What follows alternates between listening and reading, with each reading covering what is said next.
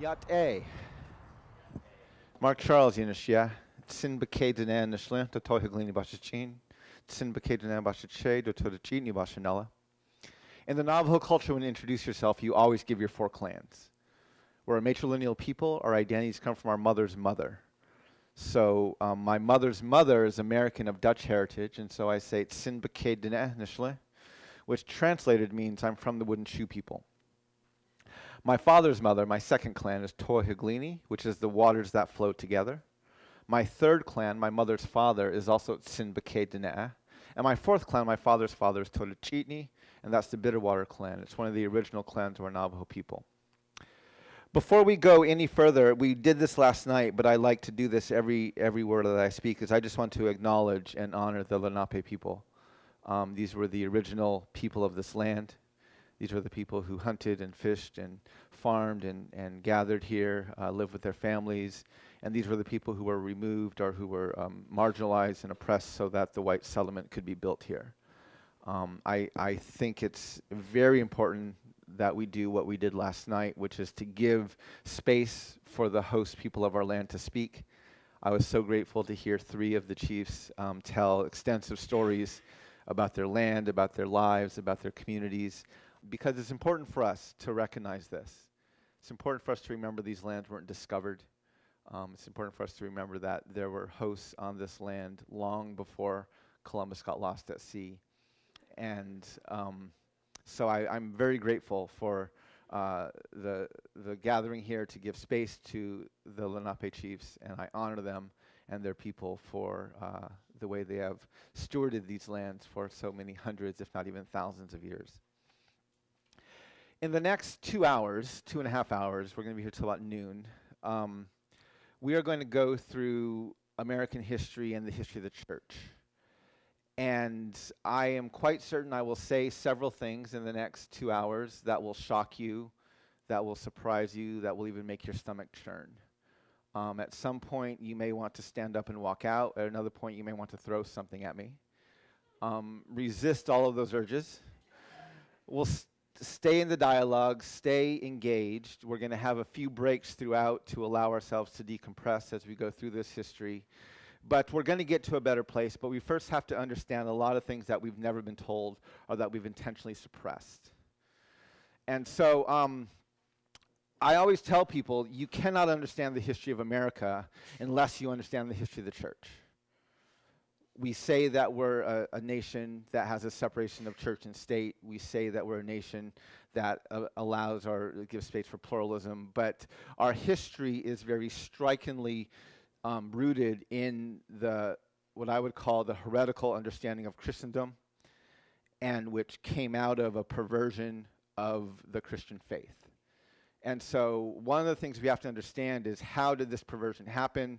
What are the roots that came from that faith and how do these things influence us today? And so i want to go all the way back. Um, I, I, start my lecture usually with the first through third century church but i want to actually go back to the teachings of jesus.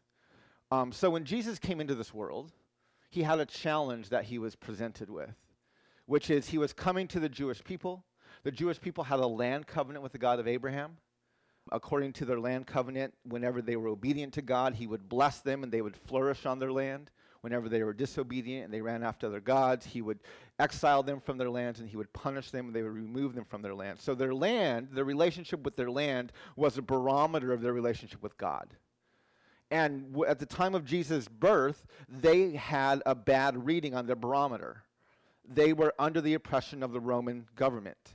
They were not allowed to worship freely. They were not allowed to, to live freely as Jews. And so they were not, well, not fully banished from their land, they definitely were not living the, the life that they had intended to live. And so many Jews, most of the Jews, were waiting for what was going to be the coming of a Messiah who was going to come in a political and an imperial fashion and restore the fortunes of the nation of Israel, restore them back to the greatness of the kingdom of David. And so this was the environment that Jesus came into. And so he had to he had to guard against this. And so he was born, yes, his birth was announced by angels. Yes, there were there were wise men and gifts and celestial words in the sky, but he was born in a barn. And he grew up as a refugee in Egypt. And there was this great deal of expectation that he was going to play this political imperial role. And even when he was first tempted by Satan, early on in his ministry, Satan took him up to the top of a high of a high place and showed him the kingdoms of the world and said, "If you bow down to me, I will give these to you," because he thought the goal was earthly kingdoms. Jesus said no, and he walked away. One day he was out with his followers and he stole a lunch from a small kid and fed 4,000 people. and the, they were so excited that they wanted to make him king right there. They came to make him king by force. But he walked away. No, this isn't my goal. One day he was out and he had, he had healed a widow's son. He had healed the, do- the, the servant of a centurion.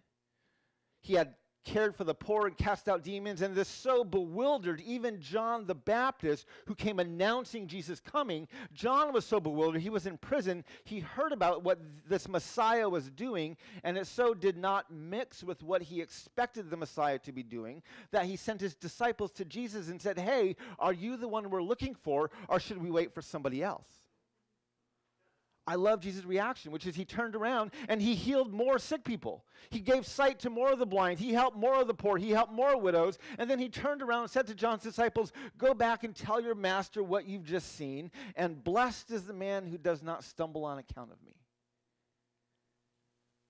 Jesus was trying to change expectations even when he stood before Pilate. Pilate said to him, Don't you know? He's trying to get him to answer some questions. He says, Don't you know I have the authority to kill you or to set you free? Jesus scoffed at him, You have no authority.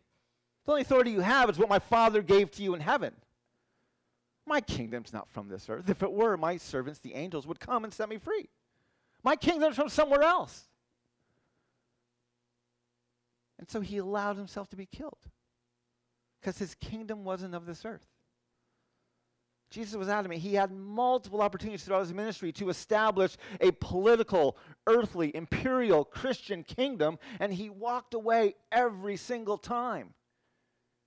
He didn't come to be king. He didn't come to be president. He didn't come to, to lead a political or imperial movement. He came to lay down his life. He came as a living sacrifice. He came to raise up disciples. He came to plant a church. And so, in the first through third, third centuries, when you joined this church, this church of Jesus Christ, you knew that you were standing in opposition to empire. You knew that there was a good chance the empire would hunt you down and either persecute you or maybe even kill you because of your membership in this church you became a member of this church through your baptism, through your confession, through your discipleship, and through your community. And when you joined this church, you knew that your life was in danger, was threatened by the empire. Now, in the fourth century, Constantine becomes emperor of Rome, and while he's emperor, he becomes a Christian. And he decides to Christianize Rome. He's a baby Christian, doesn't understand the teachings of Jesus. He decides to Christianize Rome. This fundamentally changes what it means to be the church. Now, instead of joining the church through your baptism, your confession, your discipleship, and your community, now you join the church because you're a citizen of the empire. Fundamentally changes what it means to be a member of the church. So the theologians, the church fathers of the day, had a choice. Do they speak prophetically to this heretical teaching, or do they collude with it? This is the decision that they're faced with. So in, in the fourth, in the fifth century, we have Augustine begins to develop what's called a just war theory. Now, I use the fact that we have a just war theory. The purpose of the just war theory was twofold. First, it was to fight wars more justly because now they're being fought by a Christian empire. Second, they were to justify how the citizens of this empire could justify going off and killing in the name of the empire. This was a brand new phenomenon. They never had this before. And so they needed a just war theory. So I use the fact that a just war theory exists as proof that the church fathers, the theologians of the day, decided to collude with Christendom rather than to speak prophetically to it. They were trying to find a way to make this thing work.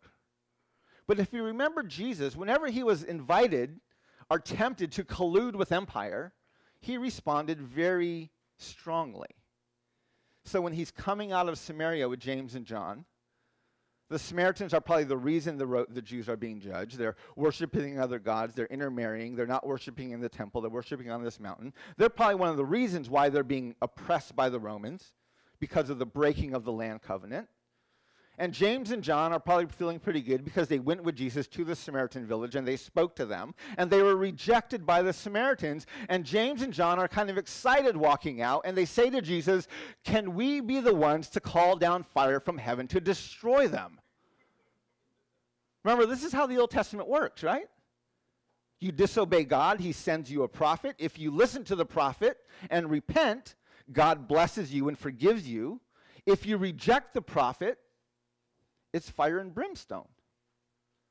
Frequently throughout the Old Testament, we see fire raining down from heaven because people didn't listen to the prophets. So James and John aren't asking anything outside the box here. This is how it works. And they're asking Jesus, I mean, who would want to be the one to be the person who called down fire from heaven, right? And Jesus turns and rebukes them. No, that's not what we're doing. And then he takes them to another Samaritan village. Peter one day tries to collude with empire and tells Jesus, You don't have to die, you don't have to be crucified. Jesus turns around and calls him Satan. Get behind me, Satan. You are not on the side of God, but of men. Whenever Jesus is invited to collude with empire, he responds very, very strongly, aggressively, jealously. And so I was wondering where is the point in Augustine's writings where Jesus would call him Satan, right? If he's colluding with empire, where's the pivot point where Jesus would, would read it and say, Oh, Augustine, come on, you're off the rails here. You are not on the side of God, but of men. I read through his just war teachings, I couldn't find that point.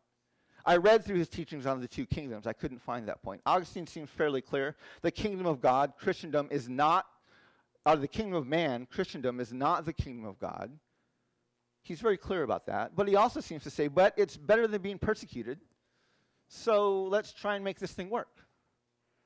Now, about a year ago, I was reading through, I was about ready to teach at the Vancouver School of Theology, and I was going to give a, a week long lecture series on the doctrine of discovery.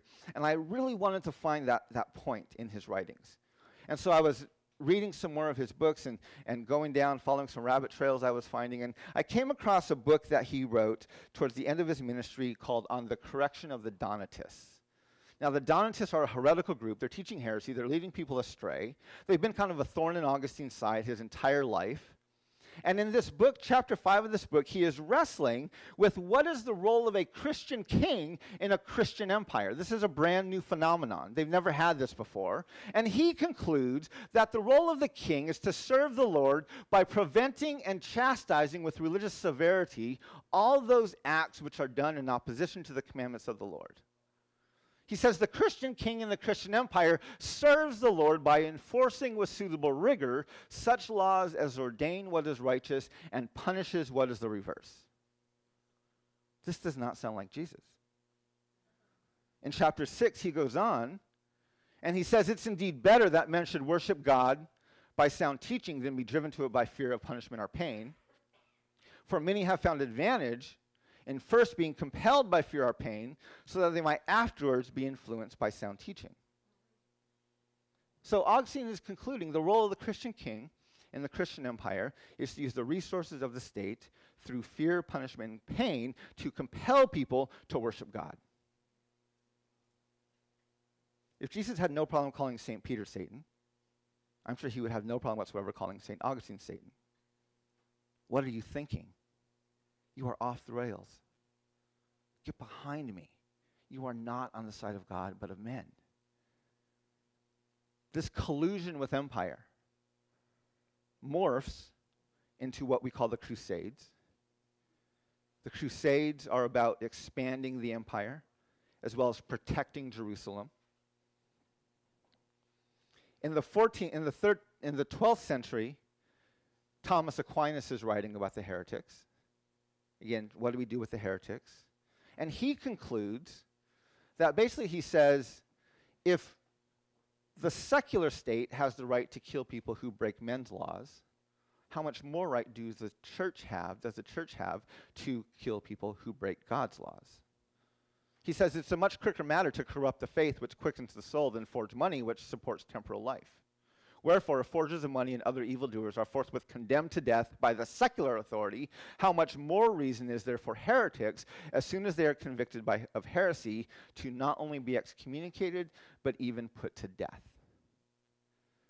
So Thomas Aquinas is arguing the role of the Christian king and the Christian empire is to kill people who don't worship the God of the church. In the 13th century, the writings of the papal bulls, the writings of the church fathers, introduce a new term called the infidel. The infidel is a subhuman category. It's first used in reference to the Moors, later to indigenous peoples, anyone who doesn't worship the God of the white European Christian male. Now that we have this category of infidel, this category of other, this actually changes the need for a just war theory. Now we don't need a, a, just war theory to justify going to war. Now we can go to war based on our theological grounds. We're fighting the other, we're fighting the enemies of Christ. So it's out of this environment that in 1452, Pope Nicholas V writes out the words invade, search out, capture, vanquish, and subdue all Saracens and pagans whatsoever. Reduce their persons to perpetual slavery. Convert him to their use and profit this papal bull, along with other papal bulls written between 1452 and 1493, collectively become known as what we call the doctrine of discovery. The doctrine of discovery is essentially the church in Europe saying to the nations of Europe, wherever you go, whatever land you find not ruled by white European Christian rulers, those people are less than human, and the land is yours for the taking. This is literally the doctrine that let European nations go into Africa, colonize the continent, and enslave the African people they weren't human. It's the same doctrine that let Columbus, who was lost at sea, land in this new world that's already inhabited by millions and claim to have discovered it. If you think about it, you cannot discover lands already inhabited. If you don't believe me, leave your car keys, your smartphones, your cell phones out. I and my Lenape friends will come by and discover them for you. Clearly, this is not discovery, right? This is stealing. This is conquering, this is colonizing. The fact that to this day we honor Columbus as the discoverer of America reveals the implicit racial bias of the nation, which is that native peoples, indigenous peoples, are not fully human. This makes the doctrine of discovery a white supremacist doctrine that is directly rooted, it's the fruit of a church that has prostituted itself out to the empire. Now, the challenge with this doctrine is it's been embedded into the foundations of our nation. So in 1763, King George draws a line down the Appalachian Mountains. And he says to the colonies over here that they no longer have the right of discovery of the empty Indian lands west of Appalachia. This upset the colonists. They wanted access to those lands. So a few years later, they write a letter of protest. In their letter, they accuse the king of raising the conditions of new appropriations of land. They go on in the letter to state that he has excited domestic insurrections amongst us and has endeavored to bring on the inhabitants of our frontiers the merciless Indian savages. They signed their letter on July 4th, 1776. Literally 30 lines below the statement, all men are created equal, the Declaration of Independence refers to natives as merciless Indian savages, making it very clear the only reason our founding fathers used this inclusive term, all men, because they had a very narrow definition of who was actually human.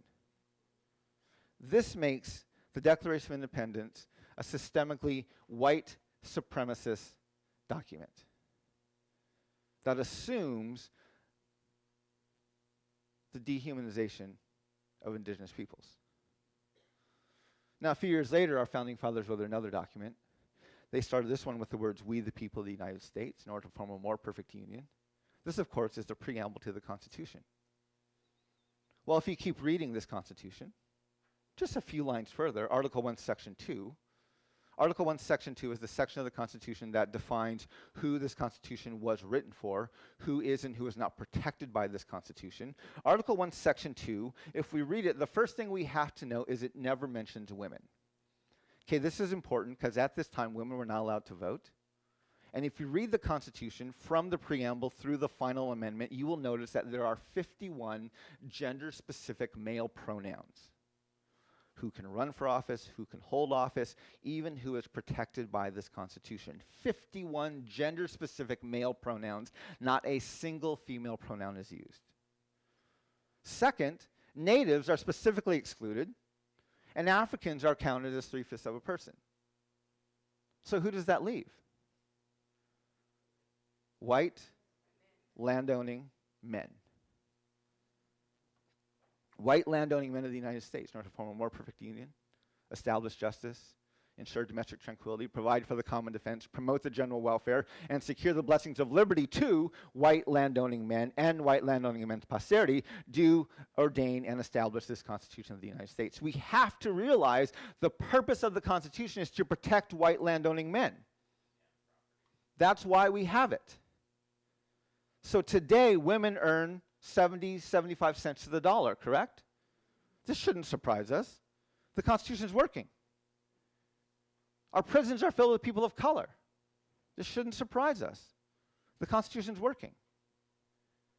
In 2010, the Supreme Court sided with Citizens United and rules that corporations now have the same rights to political free speech as individuals. This opens the door for super PACs, unlimited contributions to candidates, this shouldn't shock us. The Constitution is doing exactly what it was designed to do. It's protecting the interests of white landowning men. Now maybe we're thinking, wait, we, we corrected that, right? Well, we, we tried. So a few years later, we wrote, actually about 100 years later, we wrote the 13th Amendment. What does the 13th Amendment do? Who can tell me? Okay. So, what we think it does is we think it abolishes slavery. This is what we think it says neither slavery nor involuntary servitude shall exist within the United States. It doesn't say that. What it actually says is neither slavery nor involuntary servitude except as a punishment for crime, whereas the party has been duly convicted shall exist within the United States. So, have we ever abolished slavery? Where is it legal? Prison. So it should surprise no one that we have the highest incarceration rate of any country in the world. For every 100,000 of our citizens, we incarcerate 693 of them. It's 110 higher than the next country, which is Turkmenistan, and about three to five times higher than most other nations. This is comparing us to NATO nations, and you can see we're off the charts. When we break these numbers out by race, it's even worse.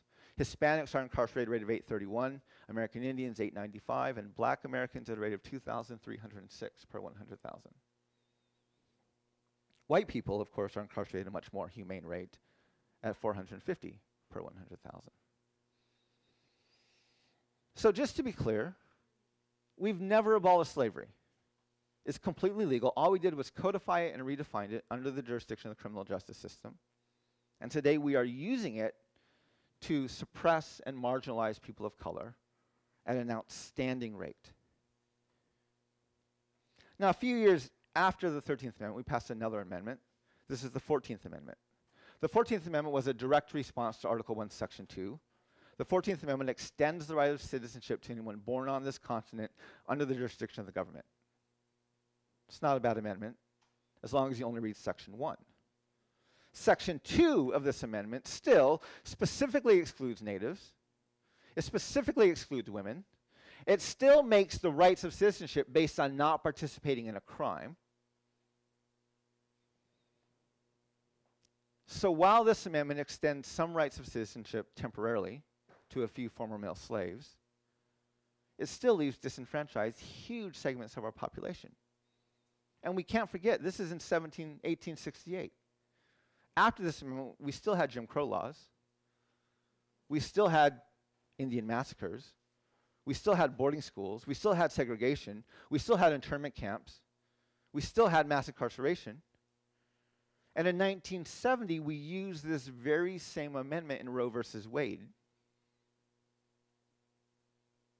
which now concluded unborn babies weren't human enough to be protected by the Constitution, and therefore they could be aborted. What this demonstrates is that at the heart of our Constitution, there's no value for life. The value is actually for exploitation and profit, and the assumption is one of dehumanization.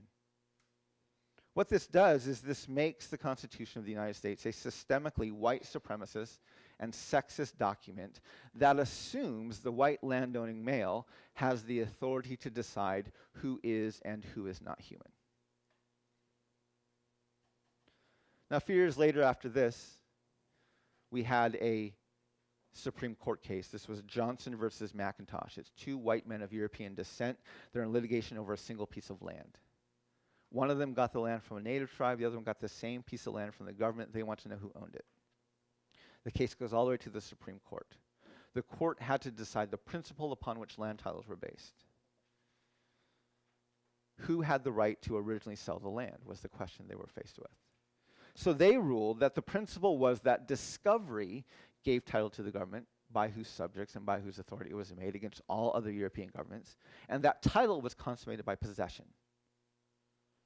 They then go on to reference the doctrine of discovery as a legal instrument and use that to conclude that natives who were here first but are not fully human, we only have what's called aboriginal title, the right of occupancy to the land, like a fish occupies water, a bird occupies air.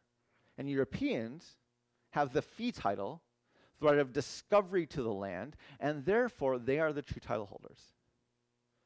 This case, along with a few others during the Marshall Court era, this was John Marshall who made this ruling, creates the legal precedent for land titles. This was 1823. So, if the Lenape were to come back and sue the state of Pennsylvania for their land back, because there's no reservation land in Pennsylvania.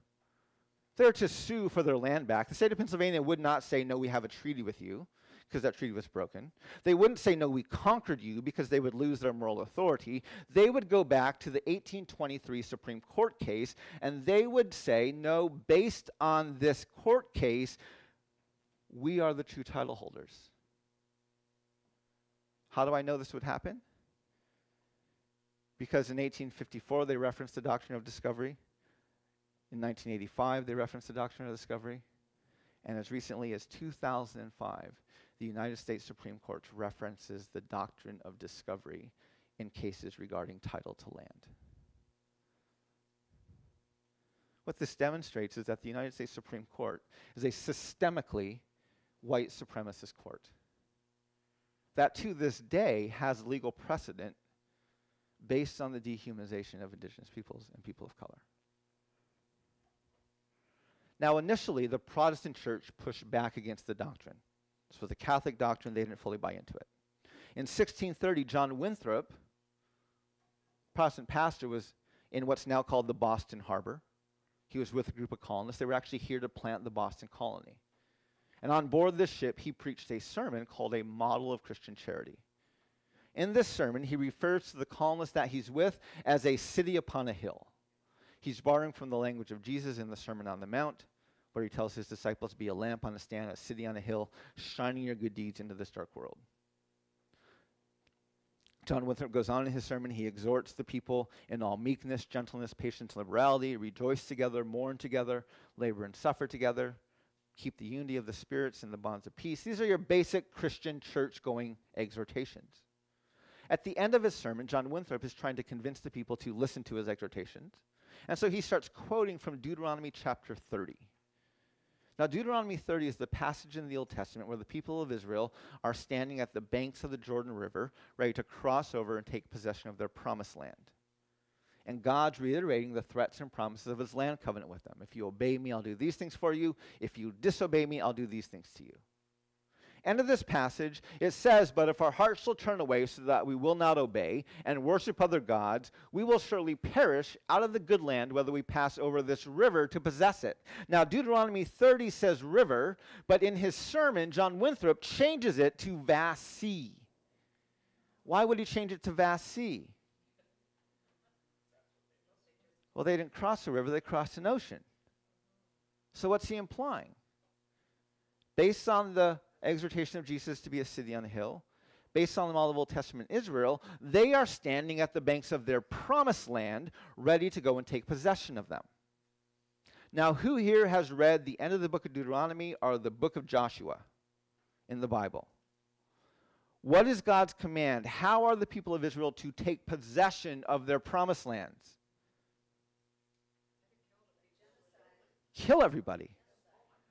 Leave no man, no woman, no child, no animal left alive, is the literal command. Promised lands for one people is literally God ordained genocide for another. I call this sermon the birth of American exceptionalism. The idea percolates for about 100 years. This is the 1630s. Mid 1700s, we go past the Appalachian Mountains, we go past the Mississippi River. Our westward expansion begins. End of the 1700s, we have the Second Great Awakening. There's a growth in churches, a renewal of denominations. There's this religious fervor as we go further and further west. And then, early 1800s, the term manifest destiny is coined. This belief that this nation of white people has the God given right to rule Turtle Island from sea to shining sea. Now you're thinking, mate, Mr. Charles, that's a stretch. We don't believe that. Well, think back three years ago. Benjamin Netanyahu, the Prime Minister of Israel, was here, and he was speaking to a joint session of our Congress, lobbying against the Iran nuclear deal that President Obama was negotiating. Now, he was talking to a very divided, a very partisan Congress. They could hardly even talk to each other, just like the Congress today. He had to get everyone on the same page behind him Republicans and Democrats. So he chose one of the most unifying themes in American political rhetoric, which is American exceptionalism. So early in his speech, he said to our Congress, because America and Israel, we share a common destiny, the destiny of promised lands. To bipartisan applause. So now that we have a white supremacist doctrine of discovery, a white supremacist Declaration of Independence, a white supremacist and sexist constitution, a white supremacist Supreme Court, and a God given right to commit genocide, now we have some history that we have to talk about. So I want you to think about the 19th century. Our history books teach the 19th century as our century of expansion. This is the century we add about 30 new states to the Union. So this is our country, 1775 to 2016. Every year in blue is a year that I found we were in a declared state of war, our armed military conflict against another nation or entity. Every year in red is every year I found us fighting against native peoples. This is the wars I found we fought against native peoples during the 19th century, primarily just against native peoples. Clearly, this was not a century of expansion. This was a century of ethnic cleansing and genocide. It was during this century that we passed the Indian Removal Act. This was Andrew Jackson. This was the act that allowed the US Congress to forcibly remove tribes from their lands in the east to more empty lands further in the west. This was directly resulted in the Trail of Tears for the Choctaw, the Chickasaw, the Cherokee. This results in the Long Walk for the Navajo, the Apache, and the Pueblo. All told, about a dozen tribes experienced forced relocation because of this act, and tens of thousands of people died as a direct result of this act.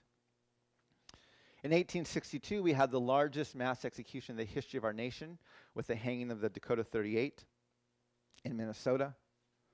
In 1864, we had the Sand Creek Massacre. We had about 150 to 200 Cheyenne and Arapaho people they were standing on lands that were given to them in 1851 in a treaty. They were waving a white flag of surrender and an American flag to show they were there peacefully. A U.S. Army comes over the hill. Colonel Chivington of the U.S. Army, a Methodist pastor, orders all of them slaughtered. It's later reported the soldiers parade their genitalia of the natives down the streets of Denver. 1879, we have the Indian boarding schools. The purpose of these schools is to kill the Indian to save the man. The first Indian boarding school opened here in Pennsylvania, in Carlisle, Pennsylvania. Hundreds, thousands, tens of thousands of native children were forcibly taken from their homes. They were raised in these military style boarding schools. They were punished for speaking their languages, punished for practicing their culture. The stories of abuse, sexual, physical, mental, emotional, that happen in these boarding schools is gut wrenching. And the last of these schools didn't close until the 1970s and 80s. I actually attended a school that was transitioning from a boarding school to a day school. I was there as a day school student. I had other Native friends who were there as a boarding school student. Their experience and my experience were vastly different. In 1890, we had the massacre at Wounded Knee. Who's heard of this massacre before? We teach about this a bit more in our history books. We had about 350 Sioux, actually Dakota warriors, slaughtered in a single day. We teach this in our history books a bit more, but there's a lot we don't teach about this massacre. So this massacre, what the story behind this was, is the U.S. Army was negotiating. They were trying to negotiate the surrender of one of the Dakota chiefs. And they met at Standing Rock. The, the, the Dakota people did not trust the Americans, and the Americans did not trust the Dakota people. Tensions were very high as they had these negotiations. And no one quite knows what happens, but a gunshot went off. They don't know if a U.S. soldier fired it or a Dakota warrior fired it first, but a gunshot went off and chaos ensued. Now, the U.S. Army had four, up to four Hotchkiss cannons there. A Hotchkiss cannon is a 37 millimeter cannon. It shoots about 60 rounds per minute. It's accurate up to about 2,000 yards. They had these up to four of them there. They began raining down bullets on the Dakota people. There was a small ravine they ran into the ravine to seek shelter from these bullets.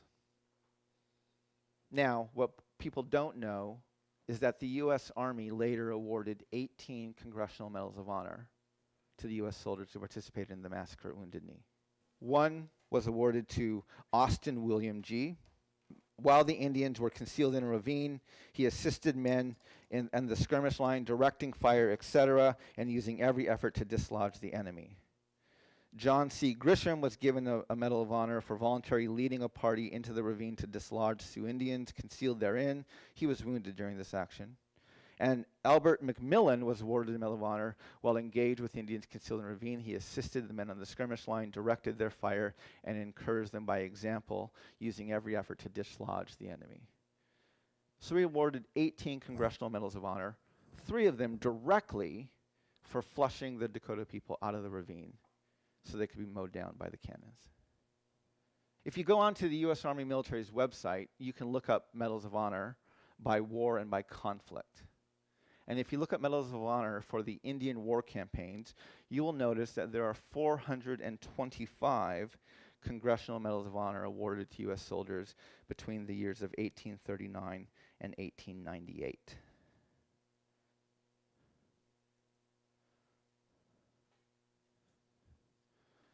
This is what our nation looked like in 1840.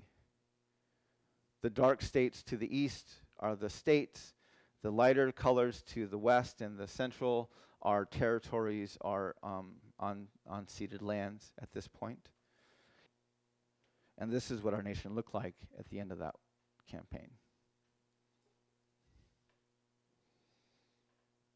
During this same century, the dominant culture population ballooned from 5.3 million to 76.2 million, and the native population shrank from 600,000 to 250,000. So we, we just we can't say it any other way. Between 1839 and 1898, the United States government awarded 425 medals of honor for the ethnic cleansing and genocide of North America. On December 19, 2009, Congress passed House Resolution 3326. This was a 2010 Department of Defense Appropriations Act. It's a 67 page document laying out the appropriations for the DoD for 2010. Page 45, subsection 8113, is titled Apology to Native Peoples of the United States. What follows is this seven bullet point apology. It mentions no specific tribe, no specific treaty, and no specific injustice.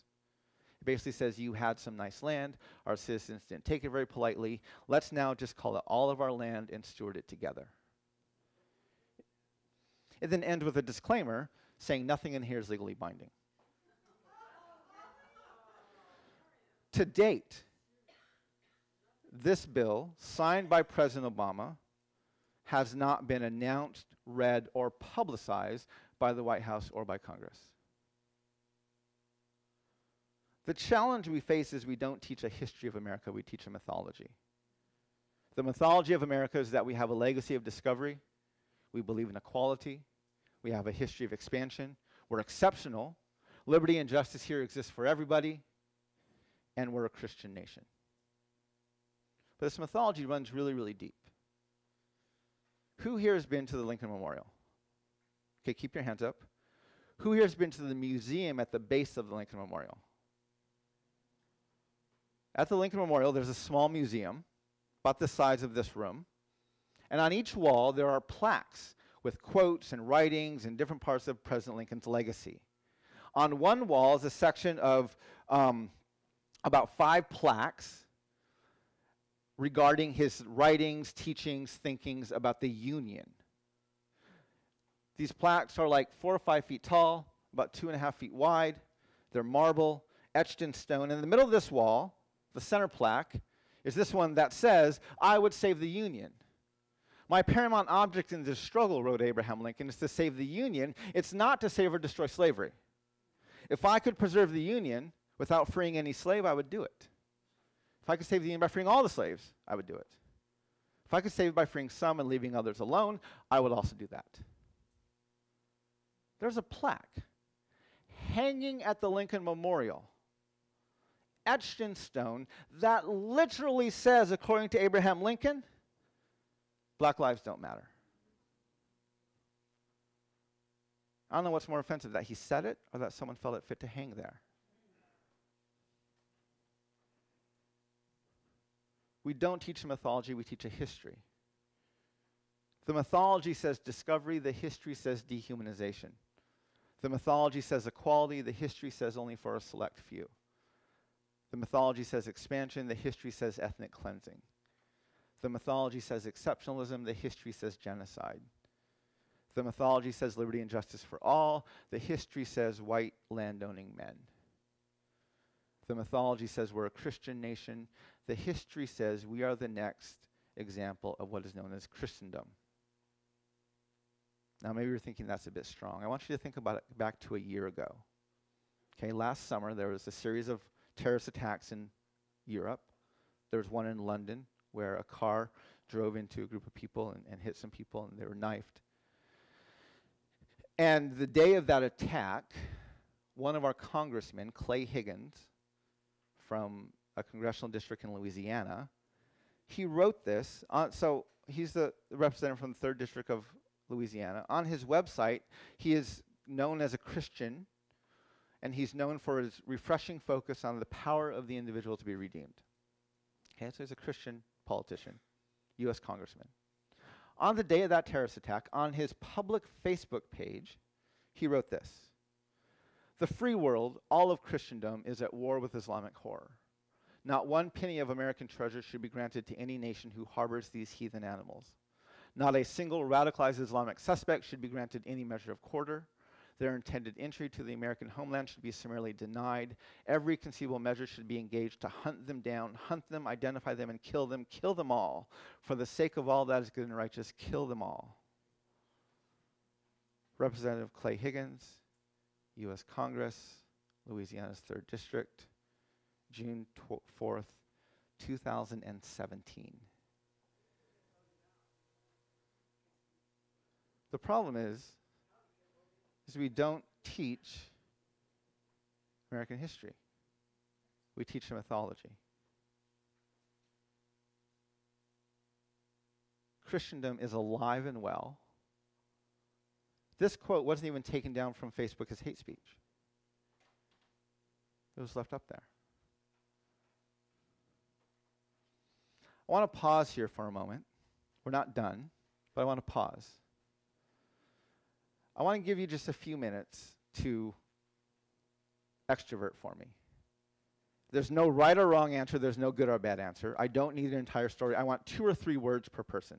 Just two or three words. Tell me how this history makes you feel. Nauseous. Nauseous. Angry. Angry. Disgusted. Disgusted. Driven. Driven. Driven. Pain. Resolved. Pain. Resolved. Heartbroken. Heartbroken. Ashamed. Ashamed. Stunned. Stunned. Sorry. Sorry. Mm-hmm. Anguish. Anguish. Sick of it. Sick of it. Wanting to change.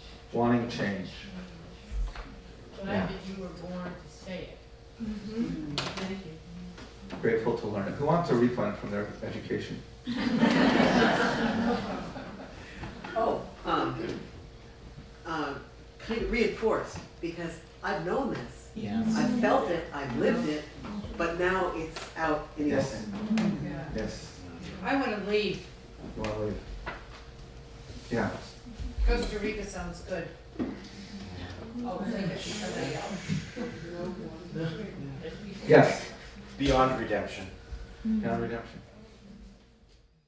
It's good to acknowledge these things. It's good to, to just, th- this history is painful. There's a reason we don't talk about it, there's a reason we don't teach it.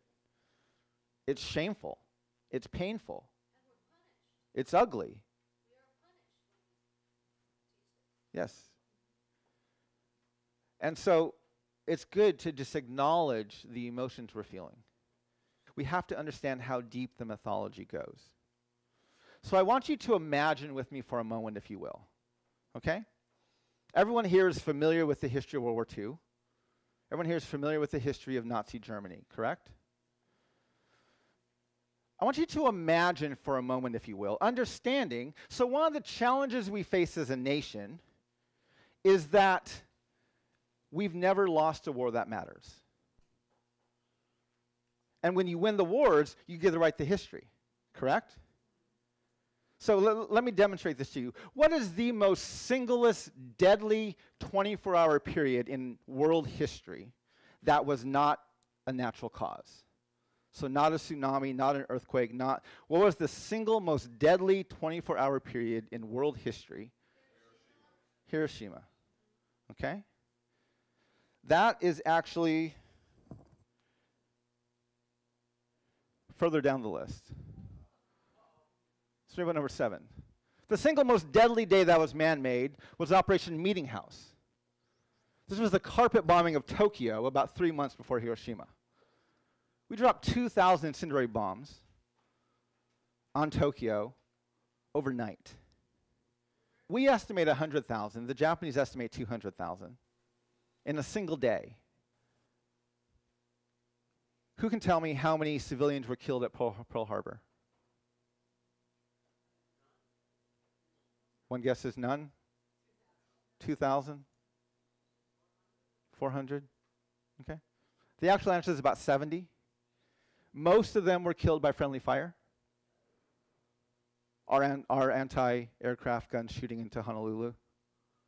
The Japanese actually didn't target civilian targets, they only targeted military targets. In the nine months leading up to the end of World War II, when we carpet bombed Tokyo, Hiroshima, Nagasaki, and many other cities, we killed between three and 500,000 Japanese civilians to end World War II.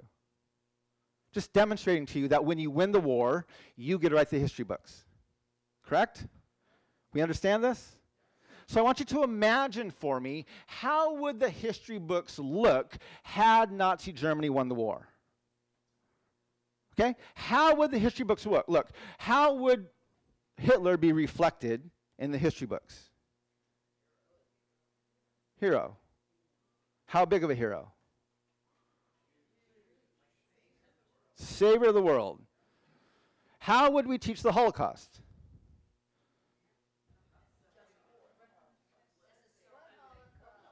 What Holocaust, right? Okay. I want you to keep this in mind because we're going to come back to at the end of this next section, okay? So, who is the greatest president in American history? not your personal opinion, collectively, who have we decided is the greatest president in American history? George Washington Abraham Lincoln are the two top choices consistently. And since race relations have gotten worse in the past two decades, Lincoln has been more consistently at the top than George Washington. He is consistently, for the last decade or two, been chosen by the American people as our greatest president. One of the reasons we believe this is because we believe he's the great emancipator, he's the great unifier, he won the Civil War, and he abolished slavery. These are all of the things that we believe about Abraham Lincoln, and this is why we tell ourselves he is the greatest president in American history. The problem is, is we don't know squat about Abraham. No, I'm just saying, we don't know. We don't teach squat about Abraham Lincoln. I want to take you through some of his history. So in 1858, Abraham Lincoln was in a heated Senate race with Judge Stephen Douglas. They were running for a Senate seat in the state of Illinois. Lincoln had come out in opposition to slavery. Douglas was for slavery, and they were had a series of seven debates. And the, the format of their debates was their debates weren't a back and forth as much as they are today. They were a series of speeches. So the first person would open up with a 20 to 30 minute speech, the next person would respond with a 30 to 40 minute speech, and then the first person would come back with another 20 to 30 minute speech. And so it'd be a series of three speeches are the debates. Um, going back and forth, and they took turns alternating who went first. And they had their the so their first the first debate happened in August of 1858. And in this debate, Abraham Lincoln, who's running against Stephen Douglas, but also running against this notion that he is anti slavery. At the beginning of this debate, during his speech, he says, I will say this while upon this subject, that I have no purpose, directly or indirectly, to interfere with the institution of slavery in the states where it exists. I have no purpose to introduce political and social equality between the white and black races. There is a physical difference between the two, which, in my judgment, will probably forever forbid their living upon the footing of perfect equality. And inasmuch as it becomes a necessity, there must be a difference. I, as well as Judge Douglas, am in favor of the race to which I belong having the superior position. In the fourth debate, he reiterated his statement almost verbatim. I will say this that I am not, nor ever have been, in favor of bringing about in any way the social and political equality of the white and black races, to applause, that I am not, nor ever have been, in favor of making voters or jurors of Negroes, nor of qualifying them to hold office, nor to intermarry with white people. And I will say, in addition to this, there is a physical difference between the white and black races, which I believe will forever forbid the two living in terms of social and political equality. And inasmuch as they cannot so live, while they do remain together, there must be the position of superior and inferior. And I, as much as any other man, am in favor of having the superior race assigned to the white race. At his inauguration in 1861, he stated apprehension seems to exist among the people by the southern states that by the ascension of a Republican administration, their property, i.e., their slaves, and their peace and personal security are to be endangered. I declare I have no purpose, directly or indirectly, to interfere with the institution of slavery in the U.S. in states where it exists. Now, the morning of his inauguration, in 1861. He was inaugurated in March, I believe it was. They did their inaugurations a bit later. Back then, the morning of his inauguration, the, the Congress was in chaos. States were threatening to secede from the Union. There was a civil war pending. And as a last ditch effort, the morning of his inauguration, Congress passed, Senate finally passed what was called the Corwin Amendment. Anyone ever hear this amendment? The Corwin Amendment was an attempt to get the southern states to stop from seceding from the Union. And so, what it did is it constitutionally protected the institution of slavery in states where it existed. It stated that no amendment shall be made to the Constitution which will authorize or give Congress the power to abolish or interfere within any state with the domestic institutions thereof, including that of persons held to labor or service by the laws of said state. So the Corwin Amendment was a constitutional protection for the institution of slavery through an amendment. They passed it the morning of his inauguration. James Buchanan, a Democratic president, even though the president has no role in passing amendments, he signed this amendment to show he was in support of it. And in his inauguration address a few hours later, Abraham Lincoln stated, I understand our proposed amendment to the Constitution, which amendment, however, I have not seen, has passed Congress to the effect that the federal government shall never interfere with the domestic institutions of the states, including that of persons held to service. To avoid misconstruction of what I have said, I depart from my purpose not to speak of particular amendments, so far as to say that holding such a provision to now by implied constitutional law, I have no objection to its made, being made express and irrevocable. So the morning of his, of his inauguration, he states in his inaugural address, he is not opposed to constitutionally protecting slavery and making it express and irrevocable in the Constitution. A few days later, about a week and a half later, he personally, even though the archivist is tasked with sending out the amendments to the states to be ratified, Abraham Lincoln sent letters to all of the governors of the states asking for the ratification of this amendment. In 1862, Abraham Lincoln signed the Homestead Act. This was an act that gave 160 acres of land to anyone who was willing to homestead land for five years out in the western frontier. In July of 62, he, he signed the Pacific Railway Act. The Pacific Railway Act was the act of Congress that, prov- that provided the land and the resources to complete um, the Transcontinental Railway and the Transcontinental Telegraph lines. This is to complete Manifest Destiny, getting us all the way, railway and telegraph lines from sea to shining sea. In 1862, fall of 1862, Abraham Lincoln already had the Emancipation Proclamation written. It was in his desk. And Horace Greeley, the editor of the New York Tribune, wrote a scathing op ed calling for the immediate emancipation of the slaves. Now, Lincoln had the Emancipation Proclamation written, but he wasn't ready to release it yet because he was concerned because there were four states in the North that allowed slavery that had not seceded from the Union. These are Kentucky, Missouri, Maryland, and Delaware. And he wanted to make sure that those slave owners in those states were not concerned about his actions. And so he responded to this letter by stating if there be those who would not save the Union, unless they could at the same time save slavery, I do not agree with them. If there be those who would not save the Union unless they could at the same time destroy slavery, I do not agree with them. My paramount object in this struggle is to save the Union. It is not to save or destroy slavery. If I could save the Union without freeing a single slave, I would do it. If I could save it by freeing all the slaves, I would do it. If I could save it by freeing some and leaving others alone, I would also do that. So Abraham Lincoln felt it was important. This, of course, is what's hanging at the Lincoln Memorial. So he felt it was important to assure the slave owners in the northern states that he did not believe black lives mattered. Okay? This is, this is just important to recognize. Now, later that year, the Dakota people had signed earlier that earlier the Dakota people had signed a treaty with the U.S. government. In exchange for some lands, they would get provisions and money and shelter for the winters in Minnesota. And uh, they had signed this treaty in 6061, I think, and the U.S. government was not meeting its treaty obligations. 62 was a harsh year. The people were afraid that they were gonna, they were not going to make it another year. And so in fall of, um, or in fall of 61, there were a few Dakota warriors and they were out. They were out uh, riding their horsebacks and they came across a white settlement.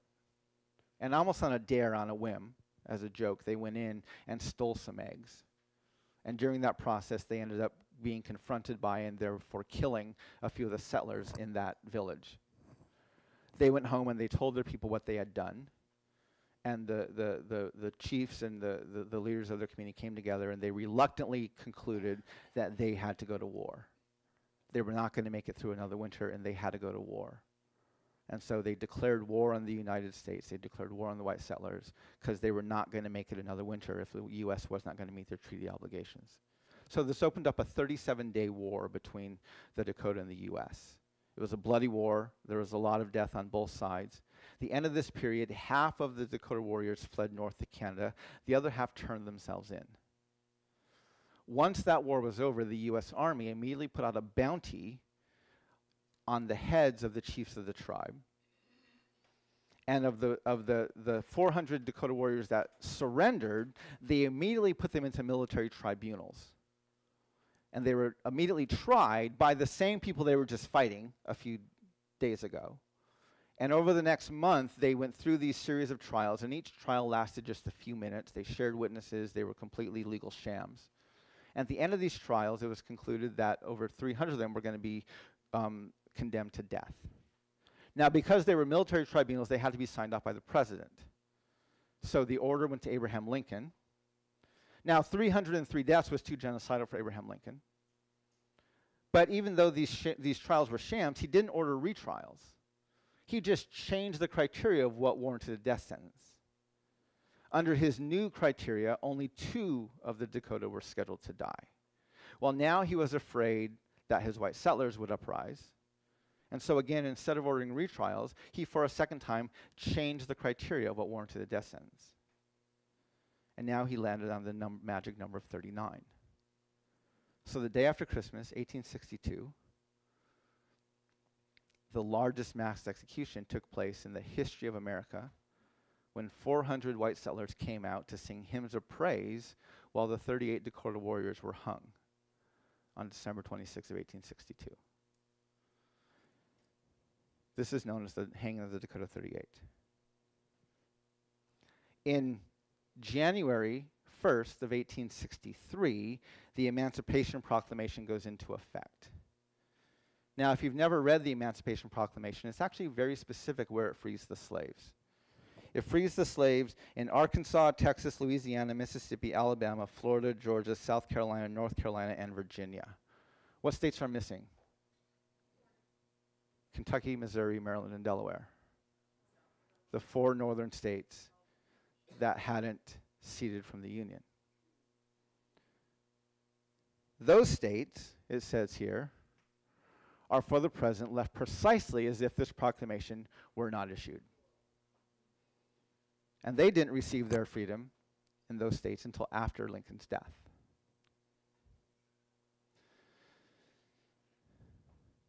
In February of 1863, Abraham Lincoln signed a bill passed by Congress that gave, that basically um, revoked all of the treaties with the tribes in Minnesota. In March of 63, he signed another bill that gave him the authority, without negotiation and without treaty, to remove the tribes from the state of Minnesota. That removal began in April.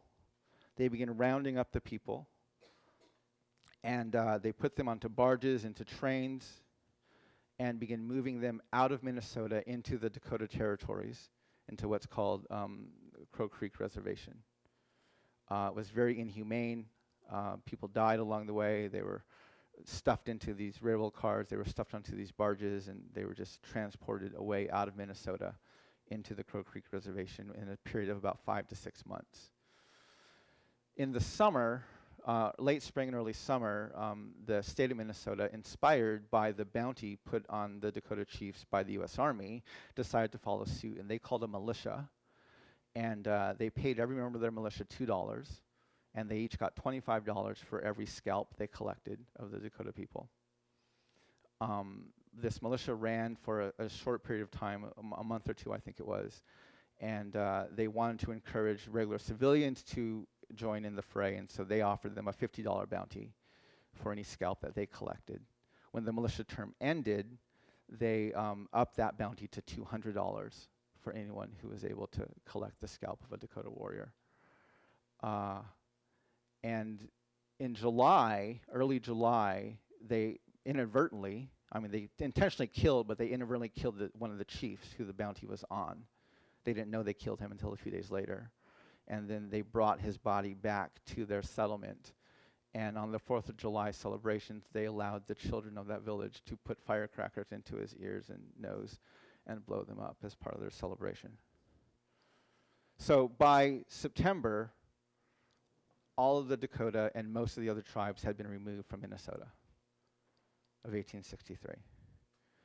In fall of 1863, um, General Carleton of the U.S. Army gave this order to um, one of the Army officers, Kit Carson, in the U.S. Army in the territory of New Mexico. he said, Henceforth, every Navajo male is to be killed or taken prisoner on sight. Say to them, Go to Bosque Redondo, or we will pursue you and destroy you. We will not make peace with you on any other terms. This war shall be pursued until you cease to exist or move. There can be no other talk on this subject. This began the period of what's known as the Long Walk. So General Kit Carson went through our Navajo territory. This is where I'm from. He torched our villages. He destroyed our crops. He killed our animals. And he moved us, chased us throughout the fall and early winter of that year um, all around our lands, never allowing us to stop or to, or to, to catch a breath, and kept us moving all around our reservation. And the, the call was we're either going to kill you or we're going to move you down to Bosque Redondo.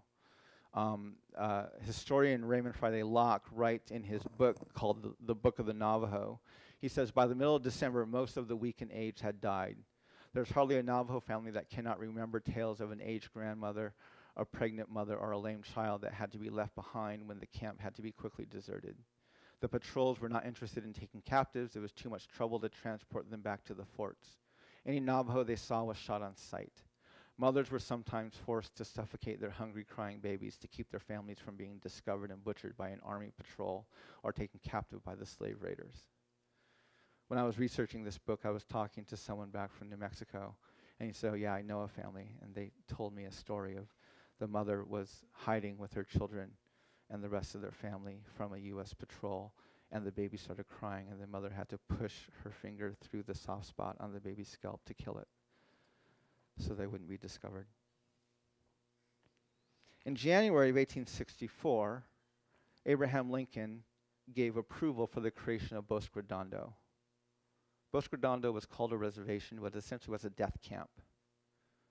Over the, the winter of 62 and the spring of 63, um, over 10,000 Navajo people were rounded up from our reservation or from our lands in, in the north and southwest and marched down to this death camp in Bosque Redondo.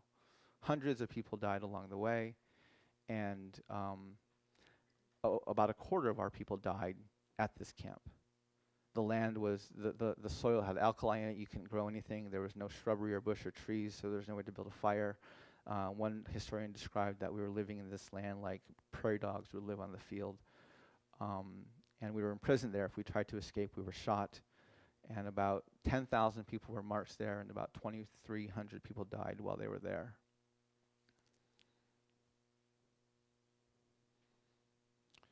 In his annual message to Congress in 1863, Abraham Lincoln proudly stated that 1.4 million acres were taken up under the Homestead Law.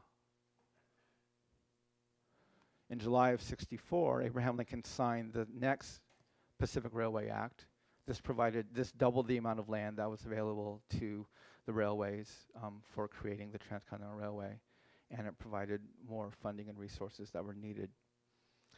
Um, in the fall of 1864 is when we had the massacre at Sand Creek. Uh, the Sand Creek had signed a treaty with the U.S. government in 1851, essentially giving them the territory of New Mexico, or the, the Cheyenne and Arapaho, giving them the territory of Colorado as their land, as their reservation. And just a few years after that, uh, gold was discovered in the Rocky Mountains. And settlers and prospectors began coming in, and encroaching on that land. And so it was in 64 that Chivington came in and slaughtered the Cheyenne and Arapaho. And within a year and a half, they had completely moved the Cheyenne and Arapaho out of Colorado, and they were relocated to a reservation in Oklahoma. They finally surrendered about a year and a half later. In his annual message in 1864, President Lincoln proudly declared to our Congress that um, 1.5 million acres was entered in upon the Homestead Law, and that the great enterprise of connecting the Atlantic with the Pacific states by railway and telegraph lines has been entered upon with a vigor that gives assurance of success. Now, if you look at the history of the Transcontinental Railway, they were building it through the central US, but there were actually three lines they were looking at very intently. So one was going here through Nebraska, and it went right through um, southern Colorado, northern Colorado and southern Wyoming. The other one started in Duluth and went through Minnesota and went up to the Pacific Northwest. And then the third was in the south, and it went through the territory of New Mexico. So within two and a half years of signing the Pacific Railway Act in July of 1862, Abraham Lincoln had ethnically cleansed and removed all the natives from Minnesota, all the natives from Colorado and Wyoming, and all the natives from Arizona and New Mexico.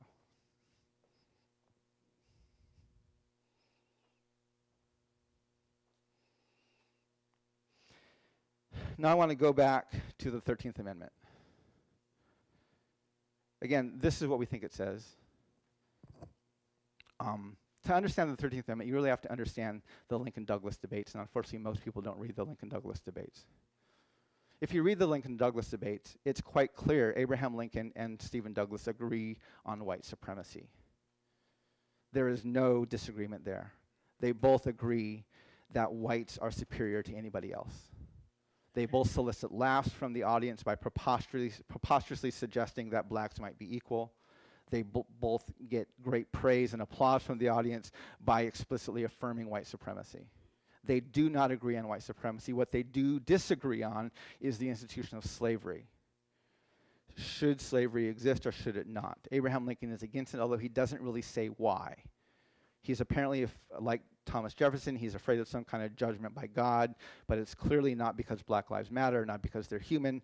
There, there's something else, and I don't, he doesn't really state what it is, but he's opposed to slavery, but it's not because he thinks Black Lives Matter. Um, and so this is the, the challenge of the debate is this is the debate. So at one point in the debate, Stephen Douglas accuses Abraham Lincoln of applying the Declaration of Independence to black people. And this was his response. He said, I think the authors of that notable instrument intended to include all men, but they did not mean to declare all men equal in all respects. They did not mean to say all men equal in color, size, intellect, moral development, or social capacity. Now we have to know Abraham Lincoln's not talking about individual men here.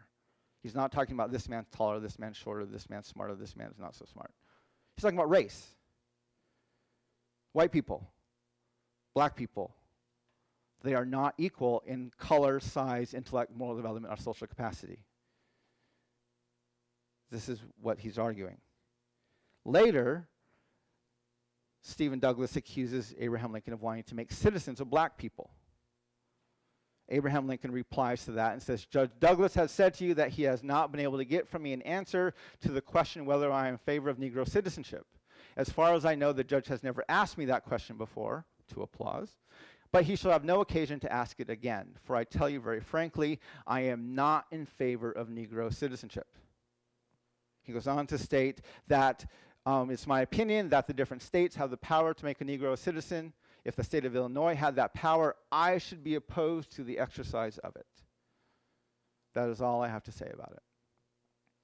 So Abraham Lincoln has a dilemma. He believes whites are superior. He doesn't give a crap about the black life or the native life. But he doesn't want to make them citizens. So, what do you do? What do you do if you free them from this institution of slavery, albeit progressively, step by step? But eventually, you're going to have a bunch of black people running around. And what are you going to do? You don't want to make them citizens. What's this is his dilemma. This is where the 13th Amendment comes in. You create a subclass level of citizenship. You keep the threat of revoking the citizenship of people of color at the whim of a white judge and a white law enforcement officer. You keep them in line. Mass incarceration was the brainchild of Abraham Lincoln. This was his solution to what do you do with black people if they're inferior and you don't want them to be citizens? You mass incarcerate them.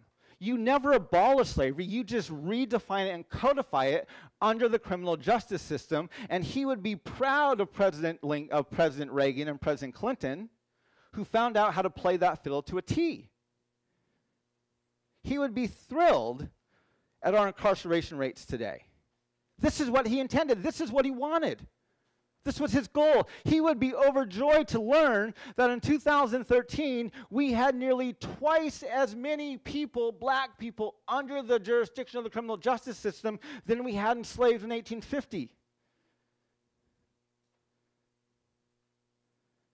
This was his goal, this was his plan.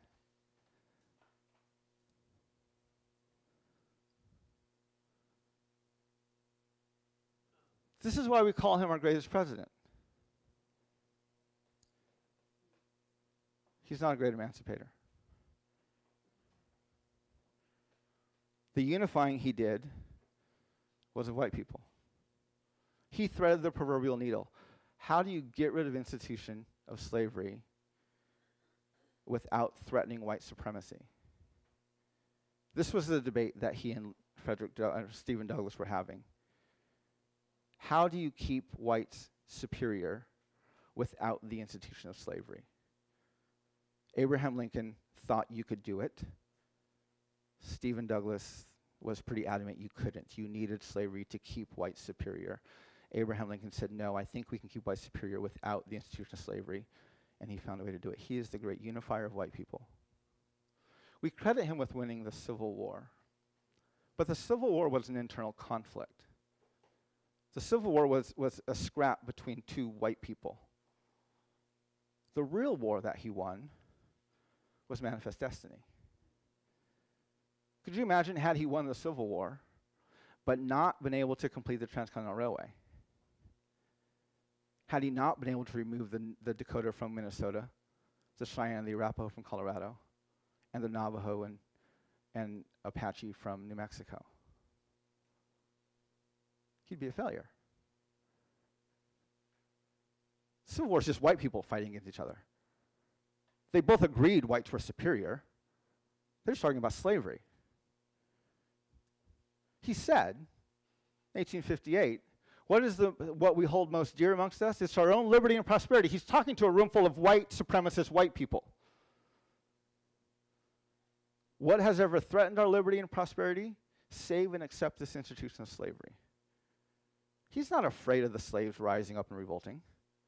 He's not afraid of some other country coming in and taking our land. He's saying, guys, we're going to kill ourselves over this question. Come on. Let's stay together. Black lives don't matter. That's not, that's not the. He didn't abolish slavery, he protected white supremacy.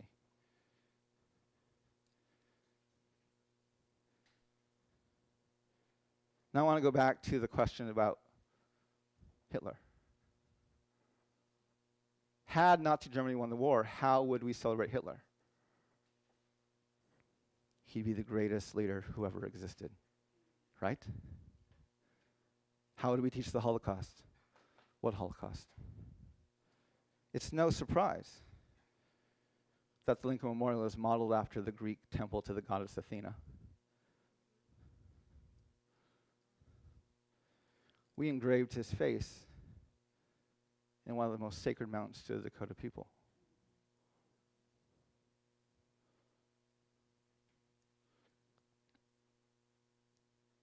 We teach that Abraham Lincoln is the savior of people of color. That's what we teach. That's a lie. Abraham Lincoln's the savior of white people. He's the one who kept white supremacy intact. He's the one who moved it from one age to another. He moved it from an explicit, an age of explicit white supremacy, sexism, and racism, and he moved it into a more civilized, implicit expression of white supremacy and racism. He made white supremacy palatable and digestible to the rest of the world. And this is why we hold him up as the greatest president in American history. We have this belief that these are not our values, but they are. These are our values. Maybe not your individual value, but these are absolutely the values of your nation. And these are absolutely the values of Christendom.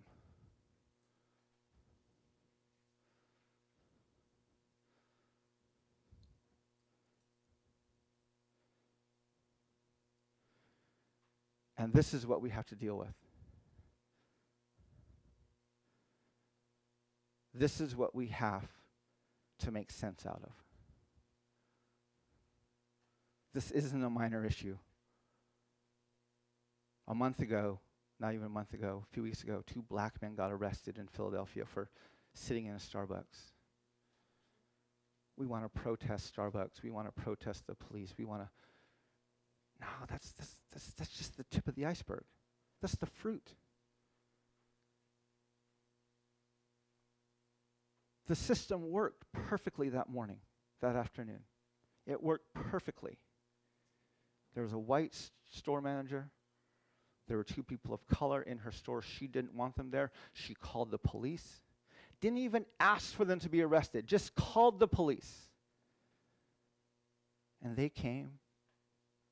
Their police chief was black. He had trained them in implicit bias. They followed the rules and regulations. They called a, a supervisor in to witness it and make sure nothing was going on. And they arrested them. The system worked perfectly. And we have Abraham Lincoln to thank for that. You want to protest? Stop celebrating Abraham Lincoln. You want to protest? Start teaching our actual history. These are the things that we need to begin to really, really wrestle with. We're not going to change this through a march. We're not going to change this through a signature drive. We're not going to change this. We have to change the foundations of the country. We have to address that we have a, a set of collective values. I'm going to finish with this and then we'll go in. Because in, in his last State of the Union, President Obama, he was talking about our need for a new politics. And in his State of the Union address, he quoted the Constitution. He said, We the people, we've come to acknowledge, he said, our Constitution begins with these three simple words. Words we've come to acknowledge mean all the people.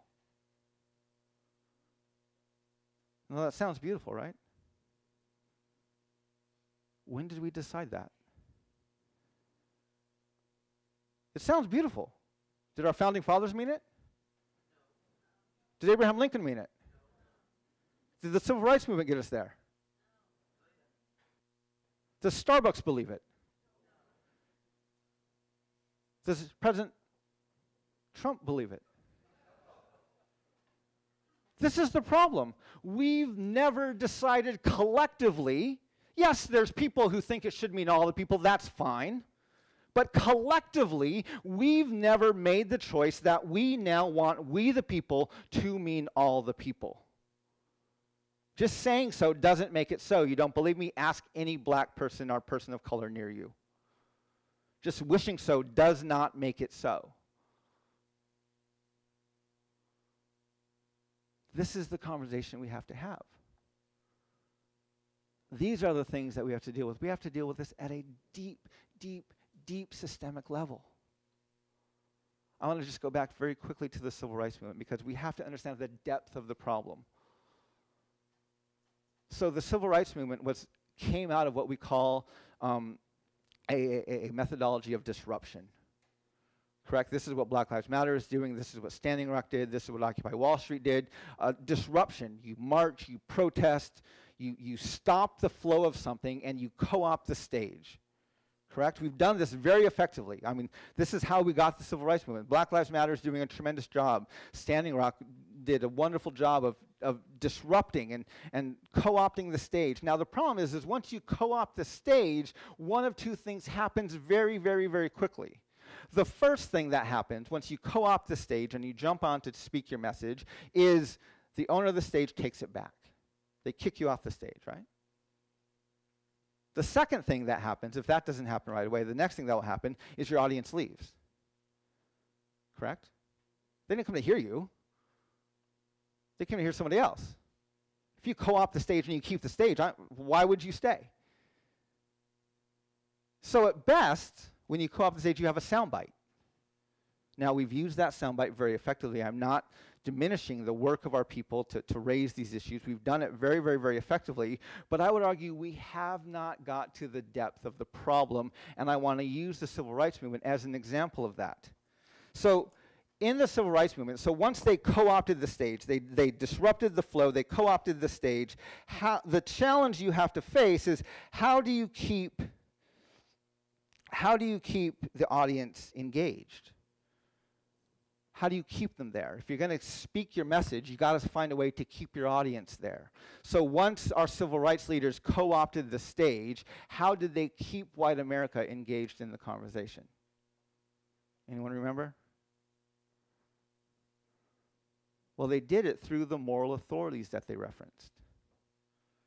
What were the moral authorities of the civil rights movement? Why morally were we the Constitution and the Declaration of Independence. These were the blank checks referred to by Dr. King. Well, what did we learn about the Constitution and the Declaration of Independence? They're white supremacists. They're working fine. The reason Black Lives Matter is happening today is because in the civil rights movement, we didn't address the fact that our foundations are the problem we tend to think America is racist and sexist in spite of our foundations. We have to deal with the fact that America is racist and sexist because of our foundations. They're working perfectly. This last election, this was no, Trump's talking this is a great thing. A white man won an electoral college visit or victory over a woman. Apparently, he doesn't know the history of the Electoral College, right? The entire purpose of the Electoral College is to maximize the representation of the white landowning male. This is why we have it. This is why it exists. Trump's election was no fluke whatsoever.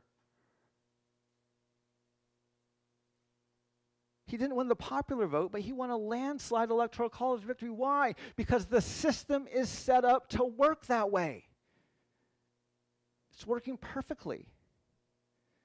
So we have to find a way to critique our foundations. In this last election, this will be the last thing, I keep saying this, but this is going well. And then we're going to get to a part of building, but I want, I want you to understand the depth of the problem. In the last election, okay, we tended to think. So, what did Donald Trump campaign on? What was his campaign? Make America great again, correct? How did Hillary respond? What did she say? America's great already. America's great because we're good. That was her response.